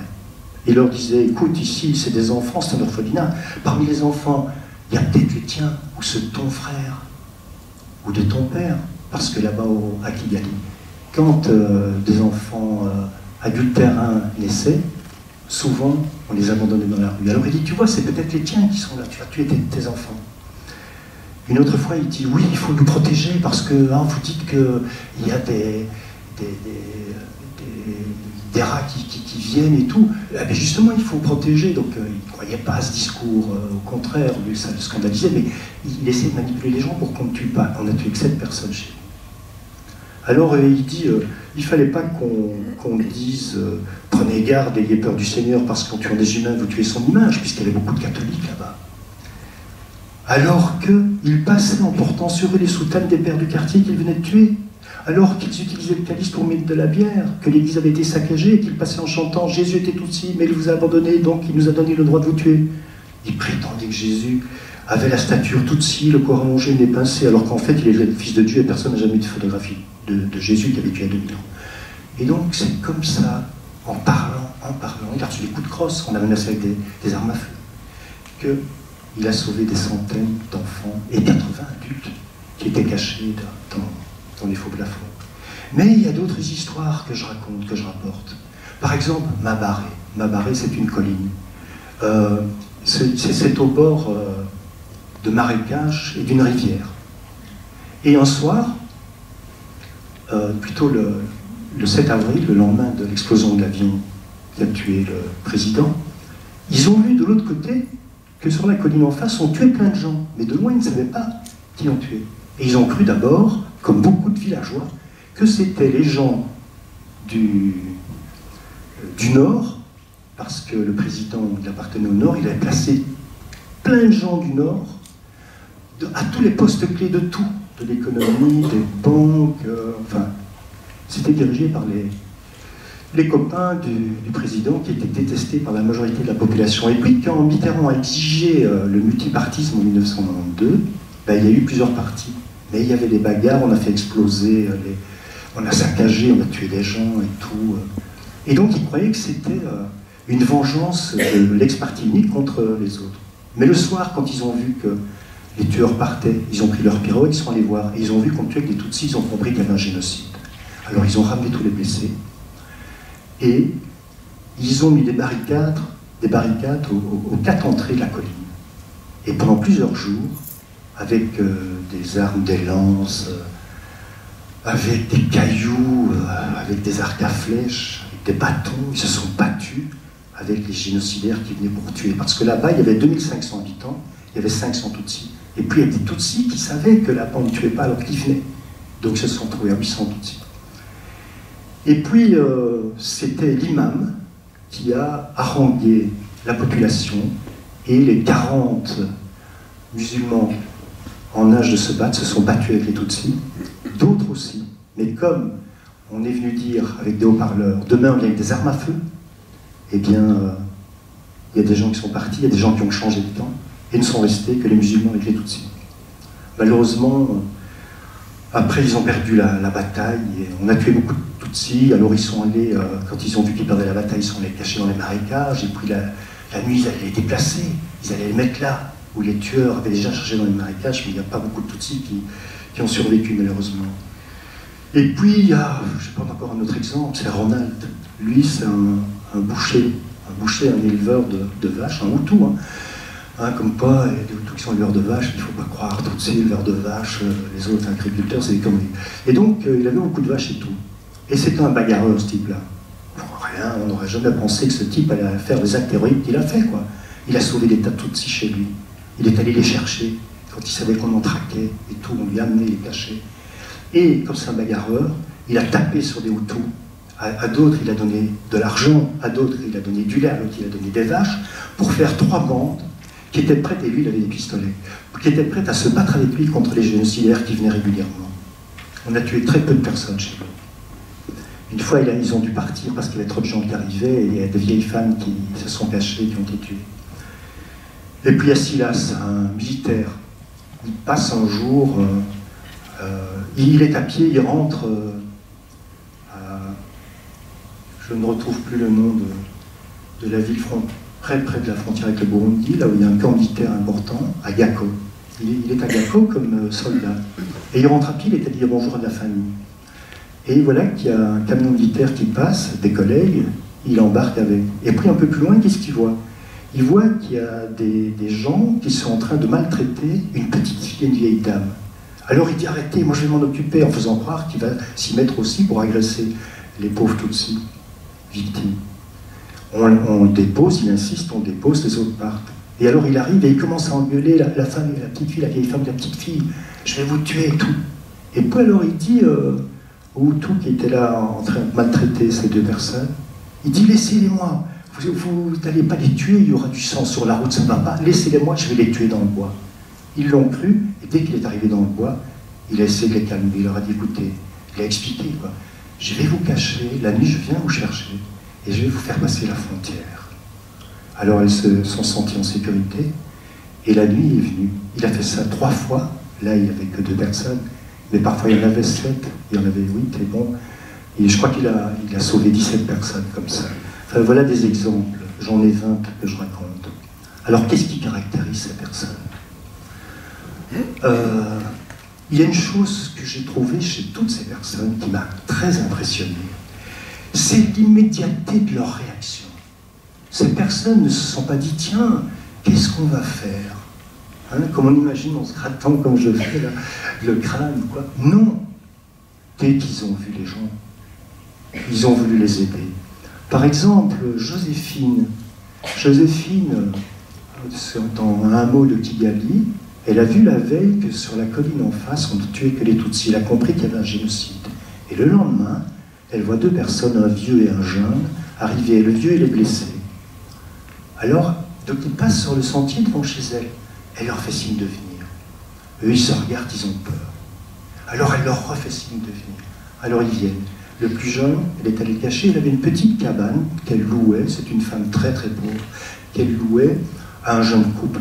Elle est allée avec le jeune, elle a dit celui-là, il est tout si on veut le tuer, ce n'est pas juste, on n'a pas à faire ça à des êtres humains, vous allez le cacher en dessous de votre lit. Il a passé les trois mois en dessous du lit du jeune couple. Et l'autre, elle a mis, le vieux, elle l'a mis entre deux baraquements, elle a mis des tôles ondulées pour faire une cache, elle l'a mis là. Et puis elle est rentrée dans sa petite maison, et elle a préparé du thé pour aller en donner à, aux personnes traquées. Alors elle est allée chez le vieux, lui servir du thé. Mais en allant servir le thé, elle s'est dit, mais dans le fond, il y a des trous sous les tôles. Et quand il va pleuvoir, il va être mouillé, alors elle est, allée mettre un parapluie au-dessus. C'est comme ça qu'elle en a sauvé plusieurs. Et chez elle, on n'a jamais trouvé ceux qu'elle avait cachés. Pourtant, on est venu faire des attaques, comme ils disent, des fouilles brutales. Et j'ai d'autres exemples, comme euh, par exemple, Wellars. J'ai entendu des cris venant des champs de sorgho. J'y suis allé vite. Vite, car ceux qui faisaient ces choses étaient aussi prudents par rapport à nous, nous surveillaient. Ils savaient que nous étions armés parce que lui, il avait des armes. Son beau-père était militaire et homme politique. Et peut-être que nous pourrions réagir. C'est dans ce contexte que j'ai pu sortir Mouvouni des champs de sorgho et je l'ai ramené à la maison. Il a, il a comme ça ramené plusieurs personnes à la maison. Puis un jour, Boutaré, Boutaré ou Bon, j'ai du mal à dire ça, puisqu'il paraît que c'est pas vrai, mais moi, ce qu'on m'a dit, c'est qu'il y a beaucoup de gens Boutaré qui n'avaient pas envie de génocider. Mais on est venu avec des miliciens, on a démis euh, les bourgmestres qui ne voulaient pas génocider. Mais attention, je ne suis pas en train de dire que Hein, euh, c'est un fait, il y a eu énormément de gens qui ont participé au génocide. Et le génocide, c'était une barbarie immense. Et ce dont je parle, c'est une petite goutte. Mais cette petite goutte existe, c'est pour ça que j'en parle quand même. Je dis ça parce que je sais que ça peut choquer les Rwandais rescapés de dire mais il parle d'un petit truc. Oui, c'est vrai, je parle d'un petit truc. Mais le petit truc, il, existe. Donc il faut le savoir. Et lui, donc, euh, quand euh, les génocidaires sont venus de Kigali pour qu'on génocide là dans la région, euh, ils ont, parce qu'il y a un espion qui a dû lui raconter après, qui était là, ils, ont, ils avaient des cartes, et il y en a un qui a dit là-bas, il y en a un qui nous empêche de travailler. Et il a montré, c'est là-bas sur la colline.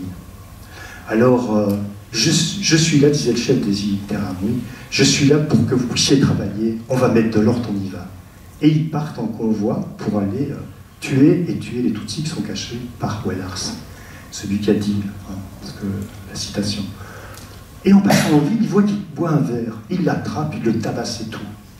Et euh, il y a quelqu'un qui voit ça, qui va chez son beau-père et qui lui dit Ton beau-fils, ils, vont le tuer. Alors euh, le beau-père, euh, avec sa voiture, il cherche partout et puis il le trouve au bord d'un ravin. Il était complètement écrabouillé. Ils allaient le taper. Il a été sauvé l'extrémisme. Il n'avait pas hésité il a continué. Euh, voilà, j'ai d'autres exemples. Mais alors, aussi, est-ce que j'ai encore bien 5 minutes? Oui. Ok. Alors, le courage, c'est aussi quelque chose qui les caractérise. Le courage, malgré la peur. Il ne faut pas croire que le courage, c'est de ne pas avoir peur, d'être trompe la mort, c'est pas ça. C'est des gens comme tout le monde. Mais ils avaient. D'ailleurs, il a perdu 35 kilos pendant le génocide, tellement il avait peur et qu'il n'avait pas non plus d'appétit à manger, euh, dit Simba, le directeur de l'orphelinat. Mais une autre Joséphine, elle euh, raconte, euh, et là j'ai compris pourquoi les fouilles, ça s'appelle des attaques. Parce qu'il y en a qui arrivent, par exemple, qui sont à moitié à poil, ils ont, ils ont des feuilles de bananier sur la tête, ils ont des feuilles de bananier autour du bas-ventre. Ils ont du sang sur eux, c'est peut-être du sang de poulet, c'est peut-être du sang de gens qu'ils ont tués. Ils arrivent avec euh, des armes, des gourdins pointus, et ils crient On va nettoyer, où sont les cafards? Et donc, même quand il n'y a pas de brutalité, parce qu'ils trouvent, quand ils trouvent personne, eh bien, c'est terrorisant. C'est pour ça qu'ils appellent ça des attaques. Et alors, il y en a une qui, dit euh, euh, Bon, je ne trouve pas la citation, c'est pas grave, je le dis de mémoire. Pendant la guerre, voilà, j'avais sur moi deux pagnes sur la partie inférieure et deux pagnes sur la partie supérieure. Je ne mangeais pas, je ne couchais pas, parce que j'avais peur à tout moment que les tueurs arrivent pour nous tuer. Donc le courage, c'est qu'ils ont surmonté leur, leur peur. Alors, leur propre vie est à sauvegarder, oui, mais uniquement si elle est digne. Je reprends Wellars, celui qui a été écrabouillé au bord du ravin. Wellars, il dit par exemple Je crains la mort car je suis un être humain comme les autres, mais la mort serait plus intéressante que de vivre avec le remords. C'est ce que dit aussi euh, une autre Joséphine. En fait, ses enfants sont allés, enfin, enfin, elle est allée avec ses enfants pour casser la chaîne d'une barque qui était euh, au bord du lac, au bord du lac Kivu, et il y a une île qui est pas très loin qui appartient au Congo, l'île d'Ijui. Alors elle, euh, elle volait des barques pour que les gens qu'elle cachait chez elle puissent partir sur l'île d'Ijui. Mais voilà, ils ont repéré une barque, il y avait une chaîne. Alors avec les enfants, les enfants jouaient, chantaient dans l'eau pendant qu'elle tapait avec un caillou pour casser la chaîne. Et puis ils ont accroché avec une petite ficelle la barque pour que personne ne voit qu'on allait la voler. Et puis le soir, elle a envoyé ses enfants pour voler la barque. Mais voilà que les enfants ne reviennent pas. Alors son mari, qui n'est pas d'accord avec ce qu'elle fait, lui dit euh, Tu vois, à cause de toi, nos enfants sont morts. En fait, ils ne sont pas morts. Hein. Rassurez-vous, après, ils sont revenus, ils étaient allés manger chez une tante avant de rentrer. Mais bon, mais ils ont cru que leurs enfants étaient morts. Et elle, a dit ceci s'ils sont morts, tant pis. Tu parles de la mort, regarde autour de toi tous ces gens qui sont tués partout. Ils ont fait quelque chose pour mériter cela. Je ne pleure plus pour les morts. Si mes enfants sont morts en allant sauver les gens, tant mieux pour eux. Ils iront au paradis. En fait, je vais encore donner deux témoignages, puis je termine. Je vais donner le témoignage de Edison. Edison, donc j'étais. Euh, un dimanche, euh, j'étais euh, le matin, je travaillais avec une doctorante. Euh, m'a fait demander si je pouvais lui donner un coup de main. Je donne un coup de main et tout. Et puis arrive le temps de, midi. Il me dit Mais qu'est-ce que tu fais au Rwanda Je sais bien que tu n'es pas invité ou quoi. Je lui explique ce que je fais. Elle dit alors, il faut que je te mette en contact avec un évangéliste. Il a massacré pendant les années 70. Il a tué des Tutsis. Mais ici, il a sauvé. J'ai dit, écoute, ça, ça m'intéresse vraiment d'entendre ce qu'il a à me dire, ce monsieur-là. Et donc, elle m'envoie, elle trouve le numéro de téléphone, je lui téléphone. Je lui dis, Edison, on m'a dit que tu avais massacré pendant les années 70 et que tu as sauvé pendant le génocide. Est-ce que tu peux m'en parler? Je voudrais savoir ce qui s'est passé pour toi. Il me dit, pas de problème, quand est-ce que tu peux arriver à l'église pentecôtiste de Kigali Je lui dis, mais là, je prends mon avion, dès que je reviens, je vais te voir. J'ai vu ce monsieur qui m'a raconté qu'il avait eu une conversion personnelle et religieuse. Il avait entendu une petite voix qui toquait dans sa tête, qui lui dit Toi, tu ne sais même pas pardonner, tu n'es pas dans le registre du pardon. Il dit Moi, j'étais une crapule, il battait sa femme, il trompait sa femme, il, euh, il se saoulait, il battait ses enfants et tout. Euh, bon. Et puis là, il est devenu euh, bon. Et il a parlé du, qu'il fallait vivre ensemble, c'était des conneries de, de, de, liguer Hutus contre les Tutsis, etc.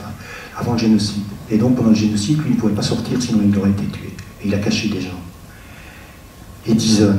Alors euh, Edison, euh, il raconte ceci.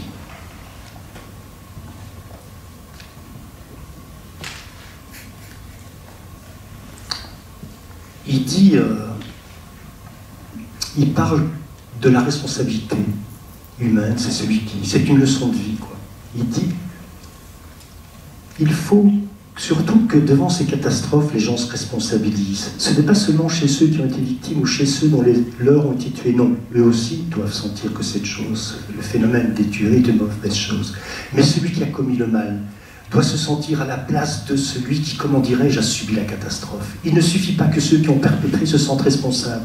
Car si je sais que mes parents, mes ancêtres ont fait du mal, il faut vraiment que ça me touche le fait qu'ils ont fait du mal. Si moi aussi, même en tant que descendant, je ne sens pas en moi cette responsabilité, ce sentiment, ce regret, alors je participe, je soutiens. Et le mal continue. C'est pourquoi les tueurs, les descendants, les victimes, tout le monde doit justement comprendre que cette chose est mauvaise, qu'elle est une faute. C'est ce que j'appelle sentir sa responsabilité. Et je termine par un petit témoignage très court qui résume ce que plein d'autres personnes m'ont transmis, c'est-à-dire leurs valeurs d'humanité, qui sont fortement ancrées. Je rencontre chez une famille Hutu, où je vais, euh, chaque fois que je vais au Rwanda, je rencontre une personne qui a appris ce que je faisais et qui dit Mais il faut que je te présente Karangwa. Karangwa, c'est celui qui m'a sauvé moi et mes trois petits frères et sœurs, dont un bébé, pendant le génocide. Il est arrivé à la maison, il a dit On tue les Tutsis. Il a dit Karangwa a dit ça au papa de, de fidélité euh, On tue les Tutsis. Emmène tes enfants, viennent cacher chez moi. Mais ils n'ont pas voulu, ils ont donné leurs enfants, ils sont allés se cacher dans le bois. Le soir même, ils ont été massacrés. Mais les enfants été cachés chez Karangwa et ont été sauvés. Alors voilà le témoignage de fidélité sur lequel je termine. Elle me raconte. Les Interahamwe sont venus à la maison de Karangwa pour nous, tuer. Et ils ont trouvé la sœur de Karangwa, Joséphine. Elle y était seule avec nous. Ils lui ont dit de faire sortir tous les cafards de la maison. Elle a répondu en disant qu'elle était seulement avec des êtres humains. Je vous remercie pour votre attention.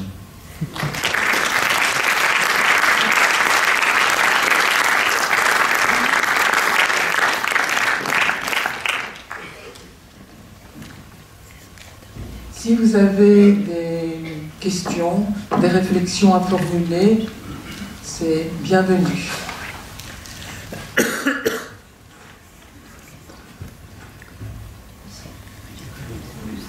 Merci beaucoup. Quelques observations.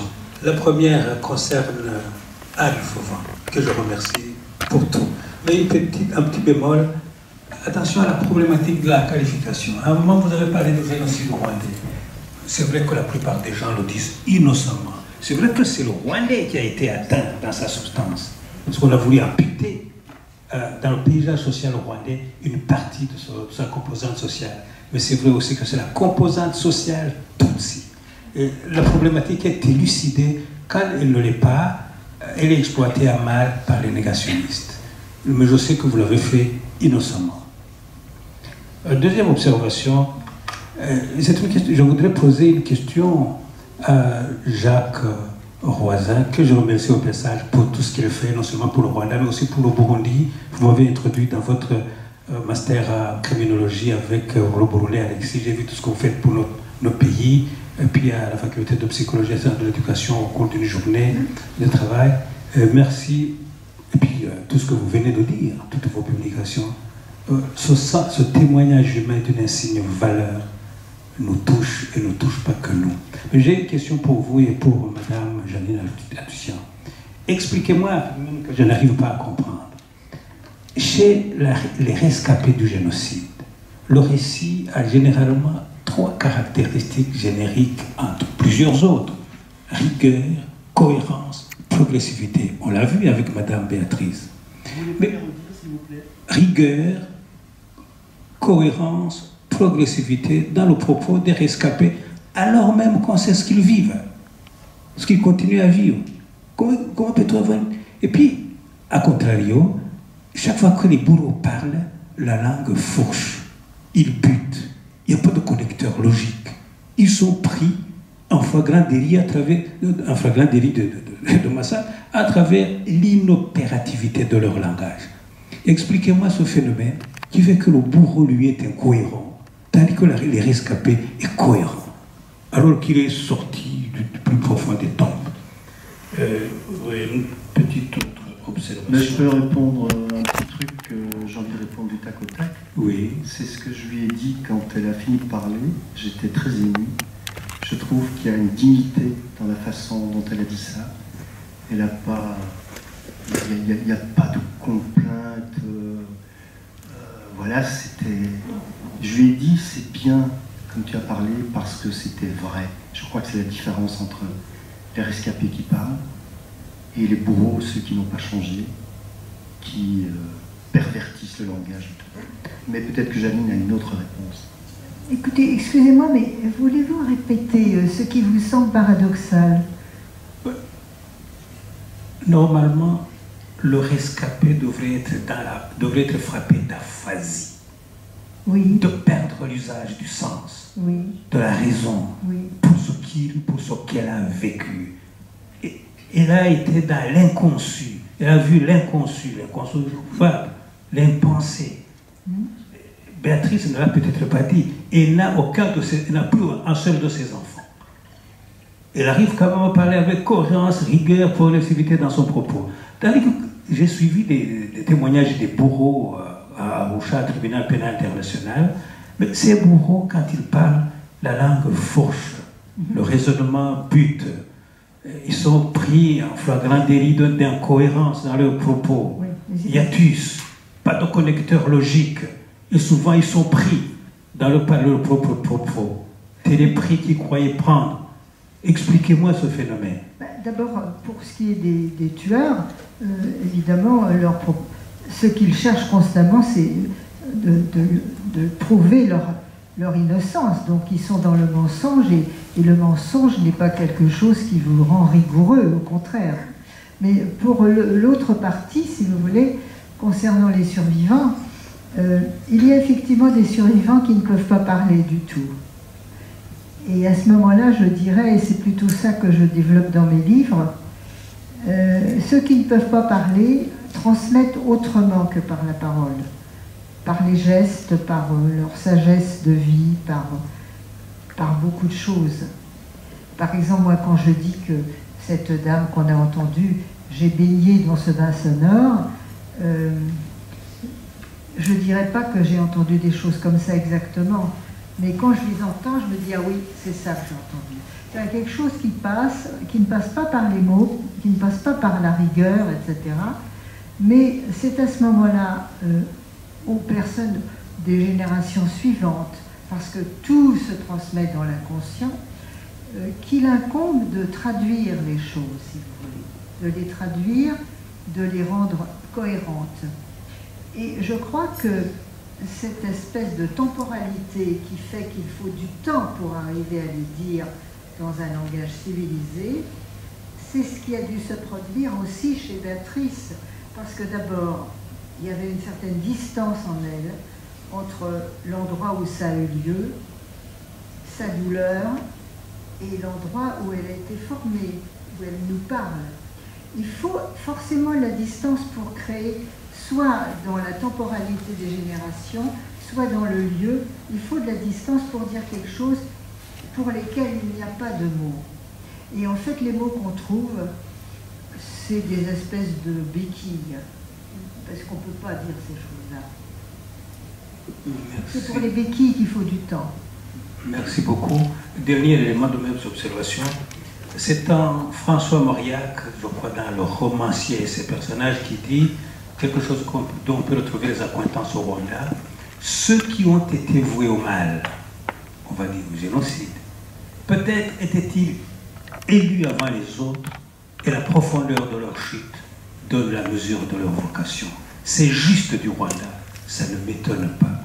Mais ce qui, la question qui m'intéresse est plutôt la suivante. Euh, qu'il y ait des justes au Rwanda, cela ne m'étonne pas. Nous avons une même culture. Nous, avons, nous croyons à même Dieu, ou Dieu. Ça ne m'étonne pas qu'il y ait eu des, des Hutus justes au Rwanda qui, qui ont sauvé des Tutsis. Ma question est plutôt la suivante. Auriez-vous trouvé chez les bourreaux, chez l'un ou l'autre bourreau, des lambeaux d'humanité Merci. Si ces gens-là ne se sont pas laissés fanatiser, par exemple, je téléphone à Jean-Pierre Chrétien, qui est un grand historien sur euh, l'histoire du génocide, l'histoire du Rwanda, hein, et il me dit le génocide, c'est dû au fait que tous les Hutus étaient fanatisés. Je lui dis tous, non, pas tous, mais la plupart. Donc, il y a la fanatisation. Il n'y a pas que la fanatisation, il y a le fait aussi de passer à l'acte quand on est fanatisé, de se permettre d'être barbare. Qu'est-ce qui fait que ces gens-là n'ont pas fait? Il n'y a pas 36 explications à voir, ils le disent. Ils le disent quand il y en a un qui dit, un, un imam qui me dit, Dieu n'a pas créé les ethnies, il a créé l'humanité. Qu'est-ce qu'il dit? Il dit que c'est parce qu'ils ont des valeurs humaines. Et les valeurs humaines, ce pas des principes qu'on leur a bourré le crâne, parce qu'ils disent eux-mêmes, il y en a d'autres qui avaient eu une bonne éducation. C'est un élan compassionnel. Et donc, ça, c'est très important, parce que la résistance à la fanatisation collective, entre autres, ça vient des valeurs morales qu'on a. Je ne parle pas des valeurs morales qu'on a apprises, mais les valeurs qu'on porte dans ses tripes. Quoi. Et qu'au moment du danger, on va les, les pratiquer ou pas. Qu'est-ce qu'on fait du constat qu'un certain nombre de personnes se laissent fanatiser? Est-ce qu'on peut leur euh, de, distribuer des pilules pour devenir, euh, pour devenir euh, Écoute, Là, on va rentrer dans un truc très spécialisé. Attends, attends, mais je ne dis pas que j'ai la réponse, mais je dis que j'ai un éclairage. Tu, dois lire. mais non, mais les deux, mais les deux plans s'intriquent. Il y a, il y a le mouvement collectif, parce que même le fait de la fanatisation, les gens, ils ne sont pas fanatisés, ils se laissent fanatiser. Ah Donc, et alors, il y a une responsabilité individuelle et il y a une machinerie, parce qu'attention, il ne faut pas parler comme Anna Arendt. Parce qu'Anna Arendt, quand elle a parlé, non, pas vous, mais euh, il ne faudrait pas parler comme Anna Arendt, qui déresponsabilise complètement, euh, comment, celui du procès, Eichmann, hein, en disant que, vous voyez, était quasi pauvre d'esprit, euh, c'est vrai quand on voit comment il résonne, bon je ne vais pas prendre des exemples, mais j'en ai puisque j'ai lu les, textes de Hannah mais euh, et que c'était une machinerie qui a aboli la capacité de juger personnellement et que lui finalement il est une victime de la machinerie, ce qui a révolté euh, plein de, rescapés juifs. Donc il y a une intrication entre les deux, mais si tu veux avoir plus mon éclairage sur le phénomène de fanatisation, tu lis le chapitre Petite réflexion sur la sollicitude humaine où je, je parle de ça. Ou alors je n'ai pas entendu ce que tu veux amener peut-être. C'est possible. Je veux dire par là que les catastrophes euh, épouvantables dont on ne peut pas parler euh, viennent évidemment de, de la fanatisation, c'est évident, mais une fois qu'on a dit ça, qu'est-ce qu'on apporte? Mais parce qu'il faut démonter le mécanisme de fanatisation. Il faut... Toi, moi, c'est du politique. Mais tout le monde, c'est pas que du politique. Le vivre ensemble, c'est pas seulement ce que les politiques vont choisir. Parce que regarde, en, Belgique, tu peut-être pas au courant. Il y a eu un gouvernement qui a eu comme euh, comment euh, Franken, son poste c'était quoi, hein, Secrétaire d'État à la migration. Ce mec, il a eu des propos complètement indécents. Il a dit par exemple. Excusez-moi, mais vous faites un échange qui, qui devient très conceptuel, mais il y a des personnes ici qui oui, vous avez raison. poser des questions. Je voudrais poser une question à ce que vous dites maintenant. Là. Vous ne pas changer de sujet, si c'est possible. Mais pas besoin de micro. Hein. Donc, je, vais- euh, je voudrais parler en fait de, de mon expérience un peu, mais pour la relier à la situation de- du Rwanda. J'ai vécu la dictature de Pinochet. Donc là-bas, les exécutants des, des actes barbares étaient un groupe sélectionné, euh, formé pour torturer, pour tuer. Mais quand il s'agit de la violence collective, euh, au-delà de la fanatisation politique, il doit y avoir un mécanisme psychique qui joue là-dedans. C'est pour ça que j'ai basé ça mot. Hein? Et ma question est la suivante. Euh, quel type de haine qui se trouve en quelque, en quelque sorte présente chez un nombre important d'individus est canalisée via la politisation, euh, le fanatisme, etc. Mais quel type de haine psychique se trouve déjà présente et mal canalisée pour que ça puisse produire des tueries de masse comme ça C'est ça ma question. Donc, euh, parce qu'à mon avis, il y a quelque chose qui est présent. hein. Peut-être le fait que euh, les, les colonialistes avaient déjà créé une division artificielle entre Hutu et Tutsi, par exemple, hein, en donnant des carrés d'identité euh, tout à fait fictifs parfois. Mais il doit y avoir quelque chose qui est présent pour qu'un jour, des prêcheurs de la haine aient tellement de succès. Et ça, Béatrice peut nous en parler.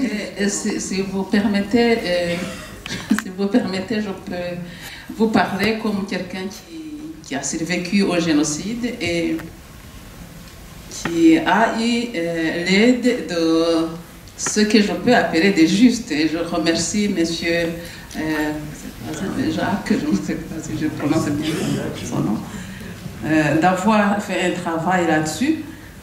Euh, et si, si je, vous entends parler de fanatiques, des gens qui ont tué, les, Hutus qui ont tué les Tutsis, ce n'étaient pas vraiment des fanatiques du tout. On habitait ensemble, on partageait tout, jusqu'à ce que l'autorité dise tuer les Tutsis. Et tout d'un coup, les gens euh, obéissaient à l'autorité. Il n'y avait pas de haine de, longue date entre les voisins. Et ici, euh, ce que peut-être vous avez oublié ou que vous n'avez pas, auquel vous n'avez pas fait attention dans votre travail, c'est que ceux qui ne tuaient pas les Tutsis ou qui les cachaient risquaient leur vie. Et d'ailleurs, même actuellement, je, je dis à, à ces personnes-là qui m'ont caché, mais vous étiez inconscient. Je ne sais même pas si j'a- j'aurais fait ce qu'ils ont fait à ce moment-là. Et je ne sais pas ce qui les motivait. Je n'avaient aucun intérêt à me sauver. Au contraire, les enfants ont risqué leur vie, puisque les enfants disaient, mais vous nous cachez, mais si vous, vous les cachez, mais s'ils viennent les tuer, les tuer, ils vont nous tuer tous. Et les enfants ont vécu des difficultés à cause de nous, puisqu'ils sont partis et ont été violés, ont été embêtés parce qu'on nous cachait. Donc c'est pour vous dire que il n'y avait pas vraiment de fanatisme. et Tous ceux qui ont tué n'étaient pas des politiciens, n'avaient pas... mais l'autorité avait dit de tuer. Et c'était le seul travail qu'il y avait à faire. Et celui qui ne le faisait pas était tué aussi. Donc, c'est, je voulais ajouter à cela. J'ai, écrit mon témoignage moi-même et je ne pouvais pas ne pas mettre ce, chapitre de ces personnes-là qui nous ont cachés. Même s'ils ne sont pas reconnus maintenant comme justes, moi je les reconnais. Et ceux qui n'ont jamais rencontré des gens comme, comme, comme Venant et sa famille que j'ai rencontrés ne savaient pas ça. Ça aussi, c'est un témoignage du génocide, de, la vie du génocide. Parce qu'il y, y en a qui, qui croient que c'est impossible, qu'aucun Hutu n'aurait pu faire ça. Si on n'a pas vécu ça, on n'y croit pas. Celui qui n'a jamais vu l'humanité à côté de lui croit que euh, tous étaient comme ça. Mais euh, je, voulais vraiment vous, vous remercier pour ce travail et vous demander si euh, les, les personnes que vous avez vues, les témoignages dont vous nous avez parlé, ce sont des justes et reconnus. Est-ce qu'on peut encore parler d'autres qui ne le sont pas pour qu'au moins ils soient reconnus quelque part, même si officiellement ils ne le sont pas C'est c'est ma question. Enfin, J'avais d'autres choses à dire, mais je vois que... Donnez le titre de votre ouvrage alors. Pour que tu saches, de, de l'édition Izuba, Ah oui, je connais. Ouais. Merci. Ben, les, 20, les 20 personnes euh, que j'ai interviewées, il y en a 5 que j'ai trouvé moi-même comme ça, comme Fidelity, que j'ai lu chez une famille, amis ou tout. Il y en a 15 qui ont eu une reconnaissance officielle de juste.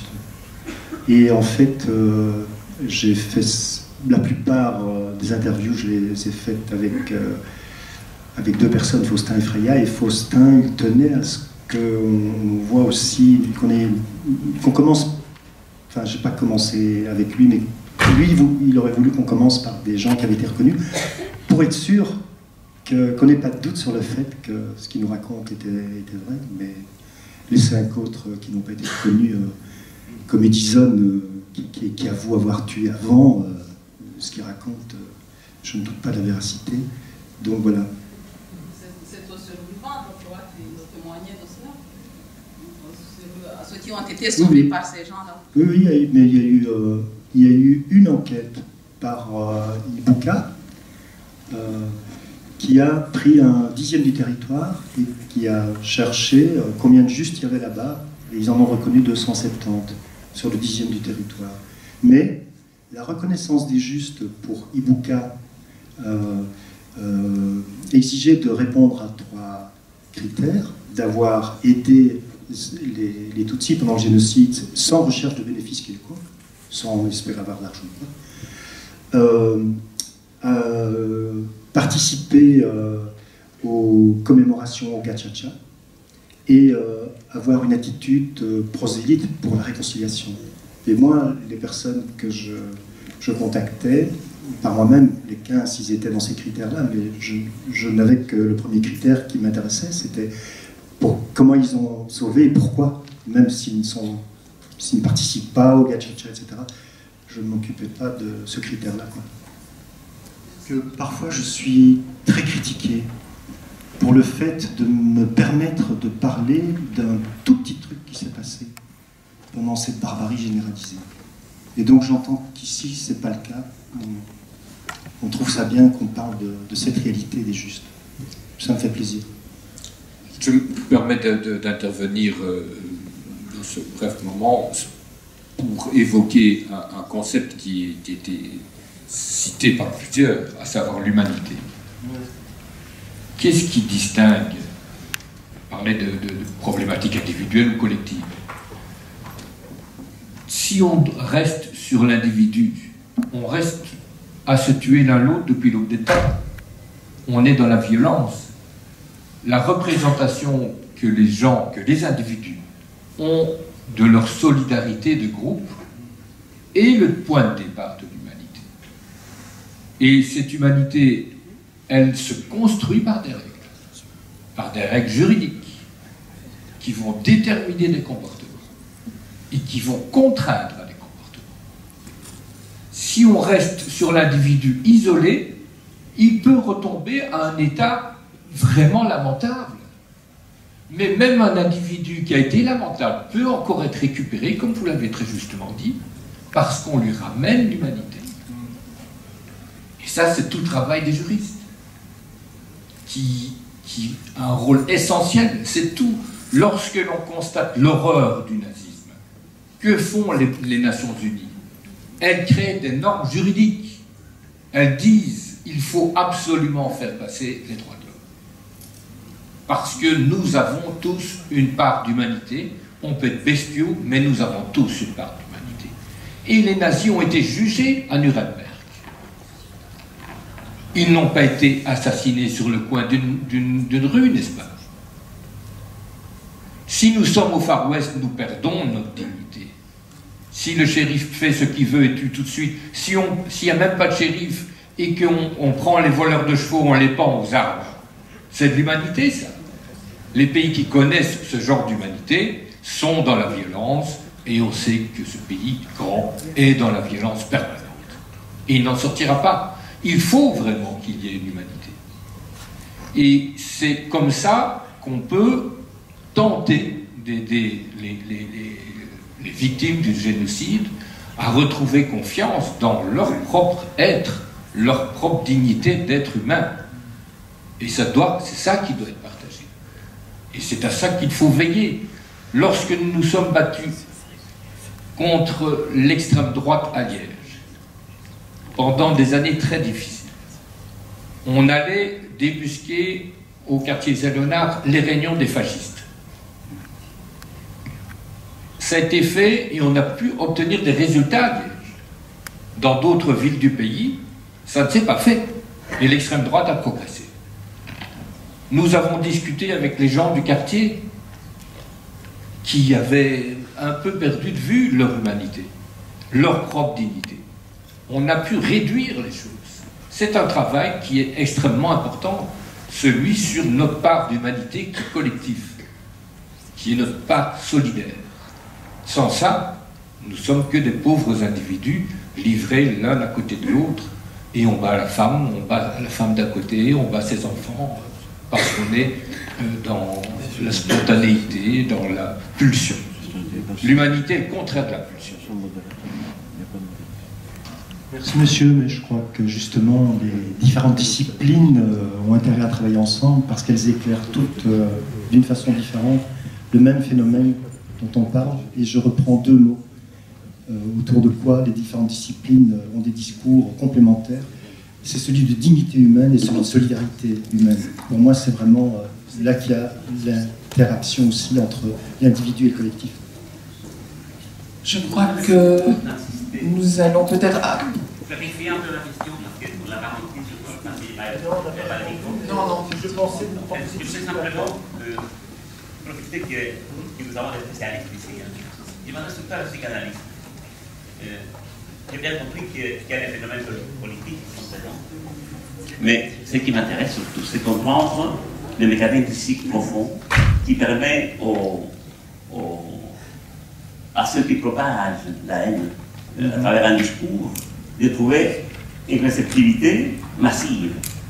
Et donc, euh, je voulais interroger ce qu'il peut y avoir comme identification collective, euh, haine de soi, euh, liée à l'histoire évidemment, parce qu'en fait, le, le, vrai, le vrai responsable de tout, c'est l'ancien colonisateur. Et cette haine-là contre le colonisateur a été bien détournée vers d'autres voies. Donc, euh, il y a toujours moyen, de, à un moment donné, pour des, pour des, pour des mouvements politiques euh, qui propagent la haine, de trouver une réceptivité. Mais je voudrais savoir quel mécanisme psychique de fond permet euh, justement de trouver de, l'ancrage à ces discours-là.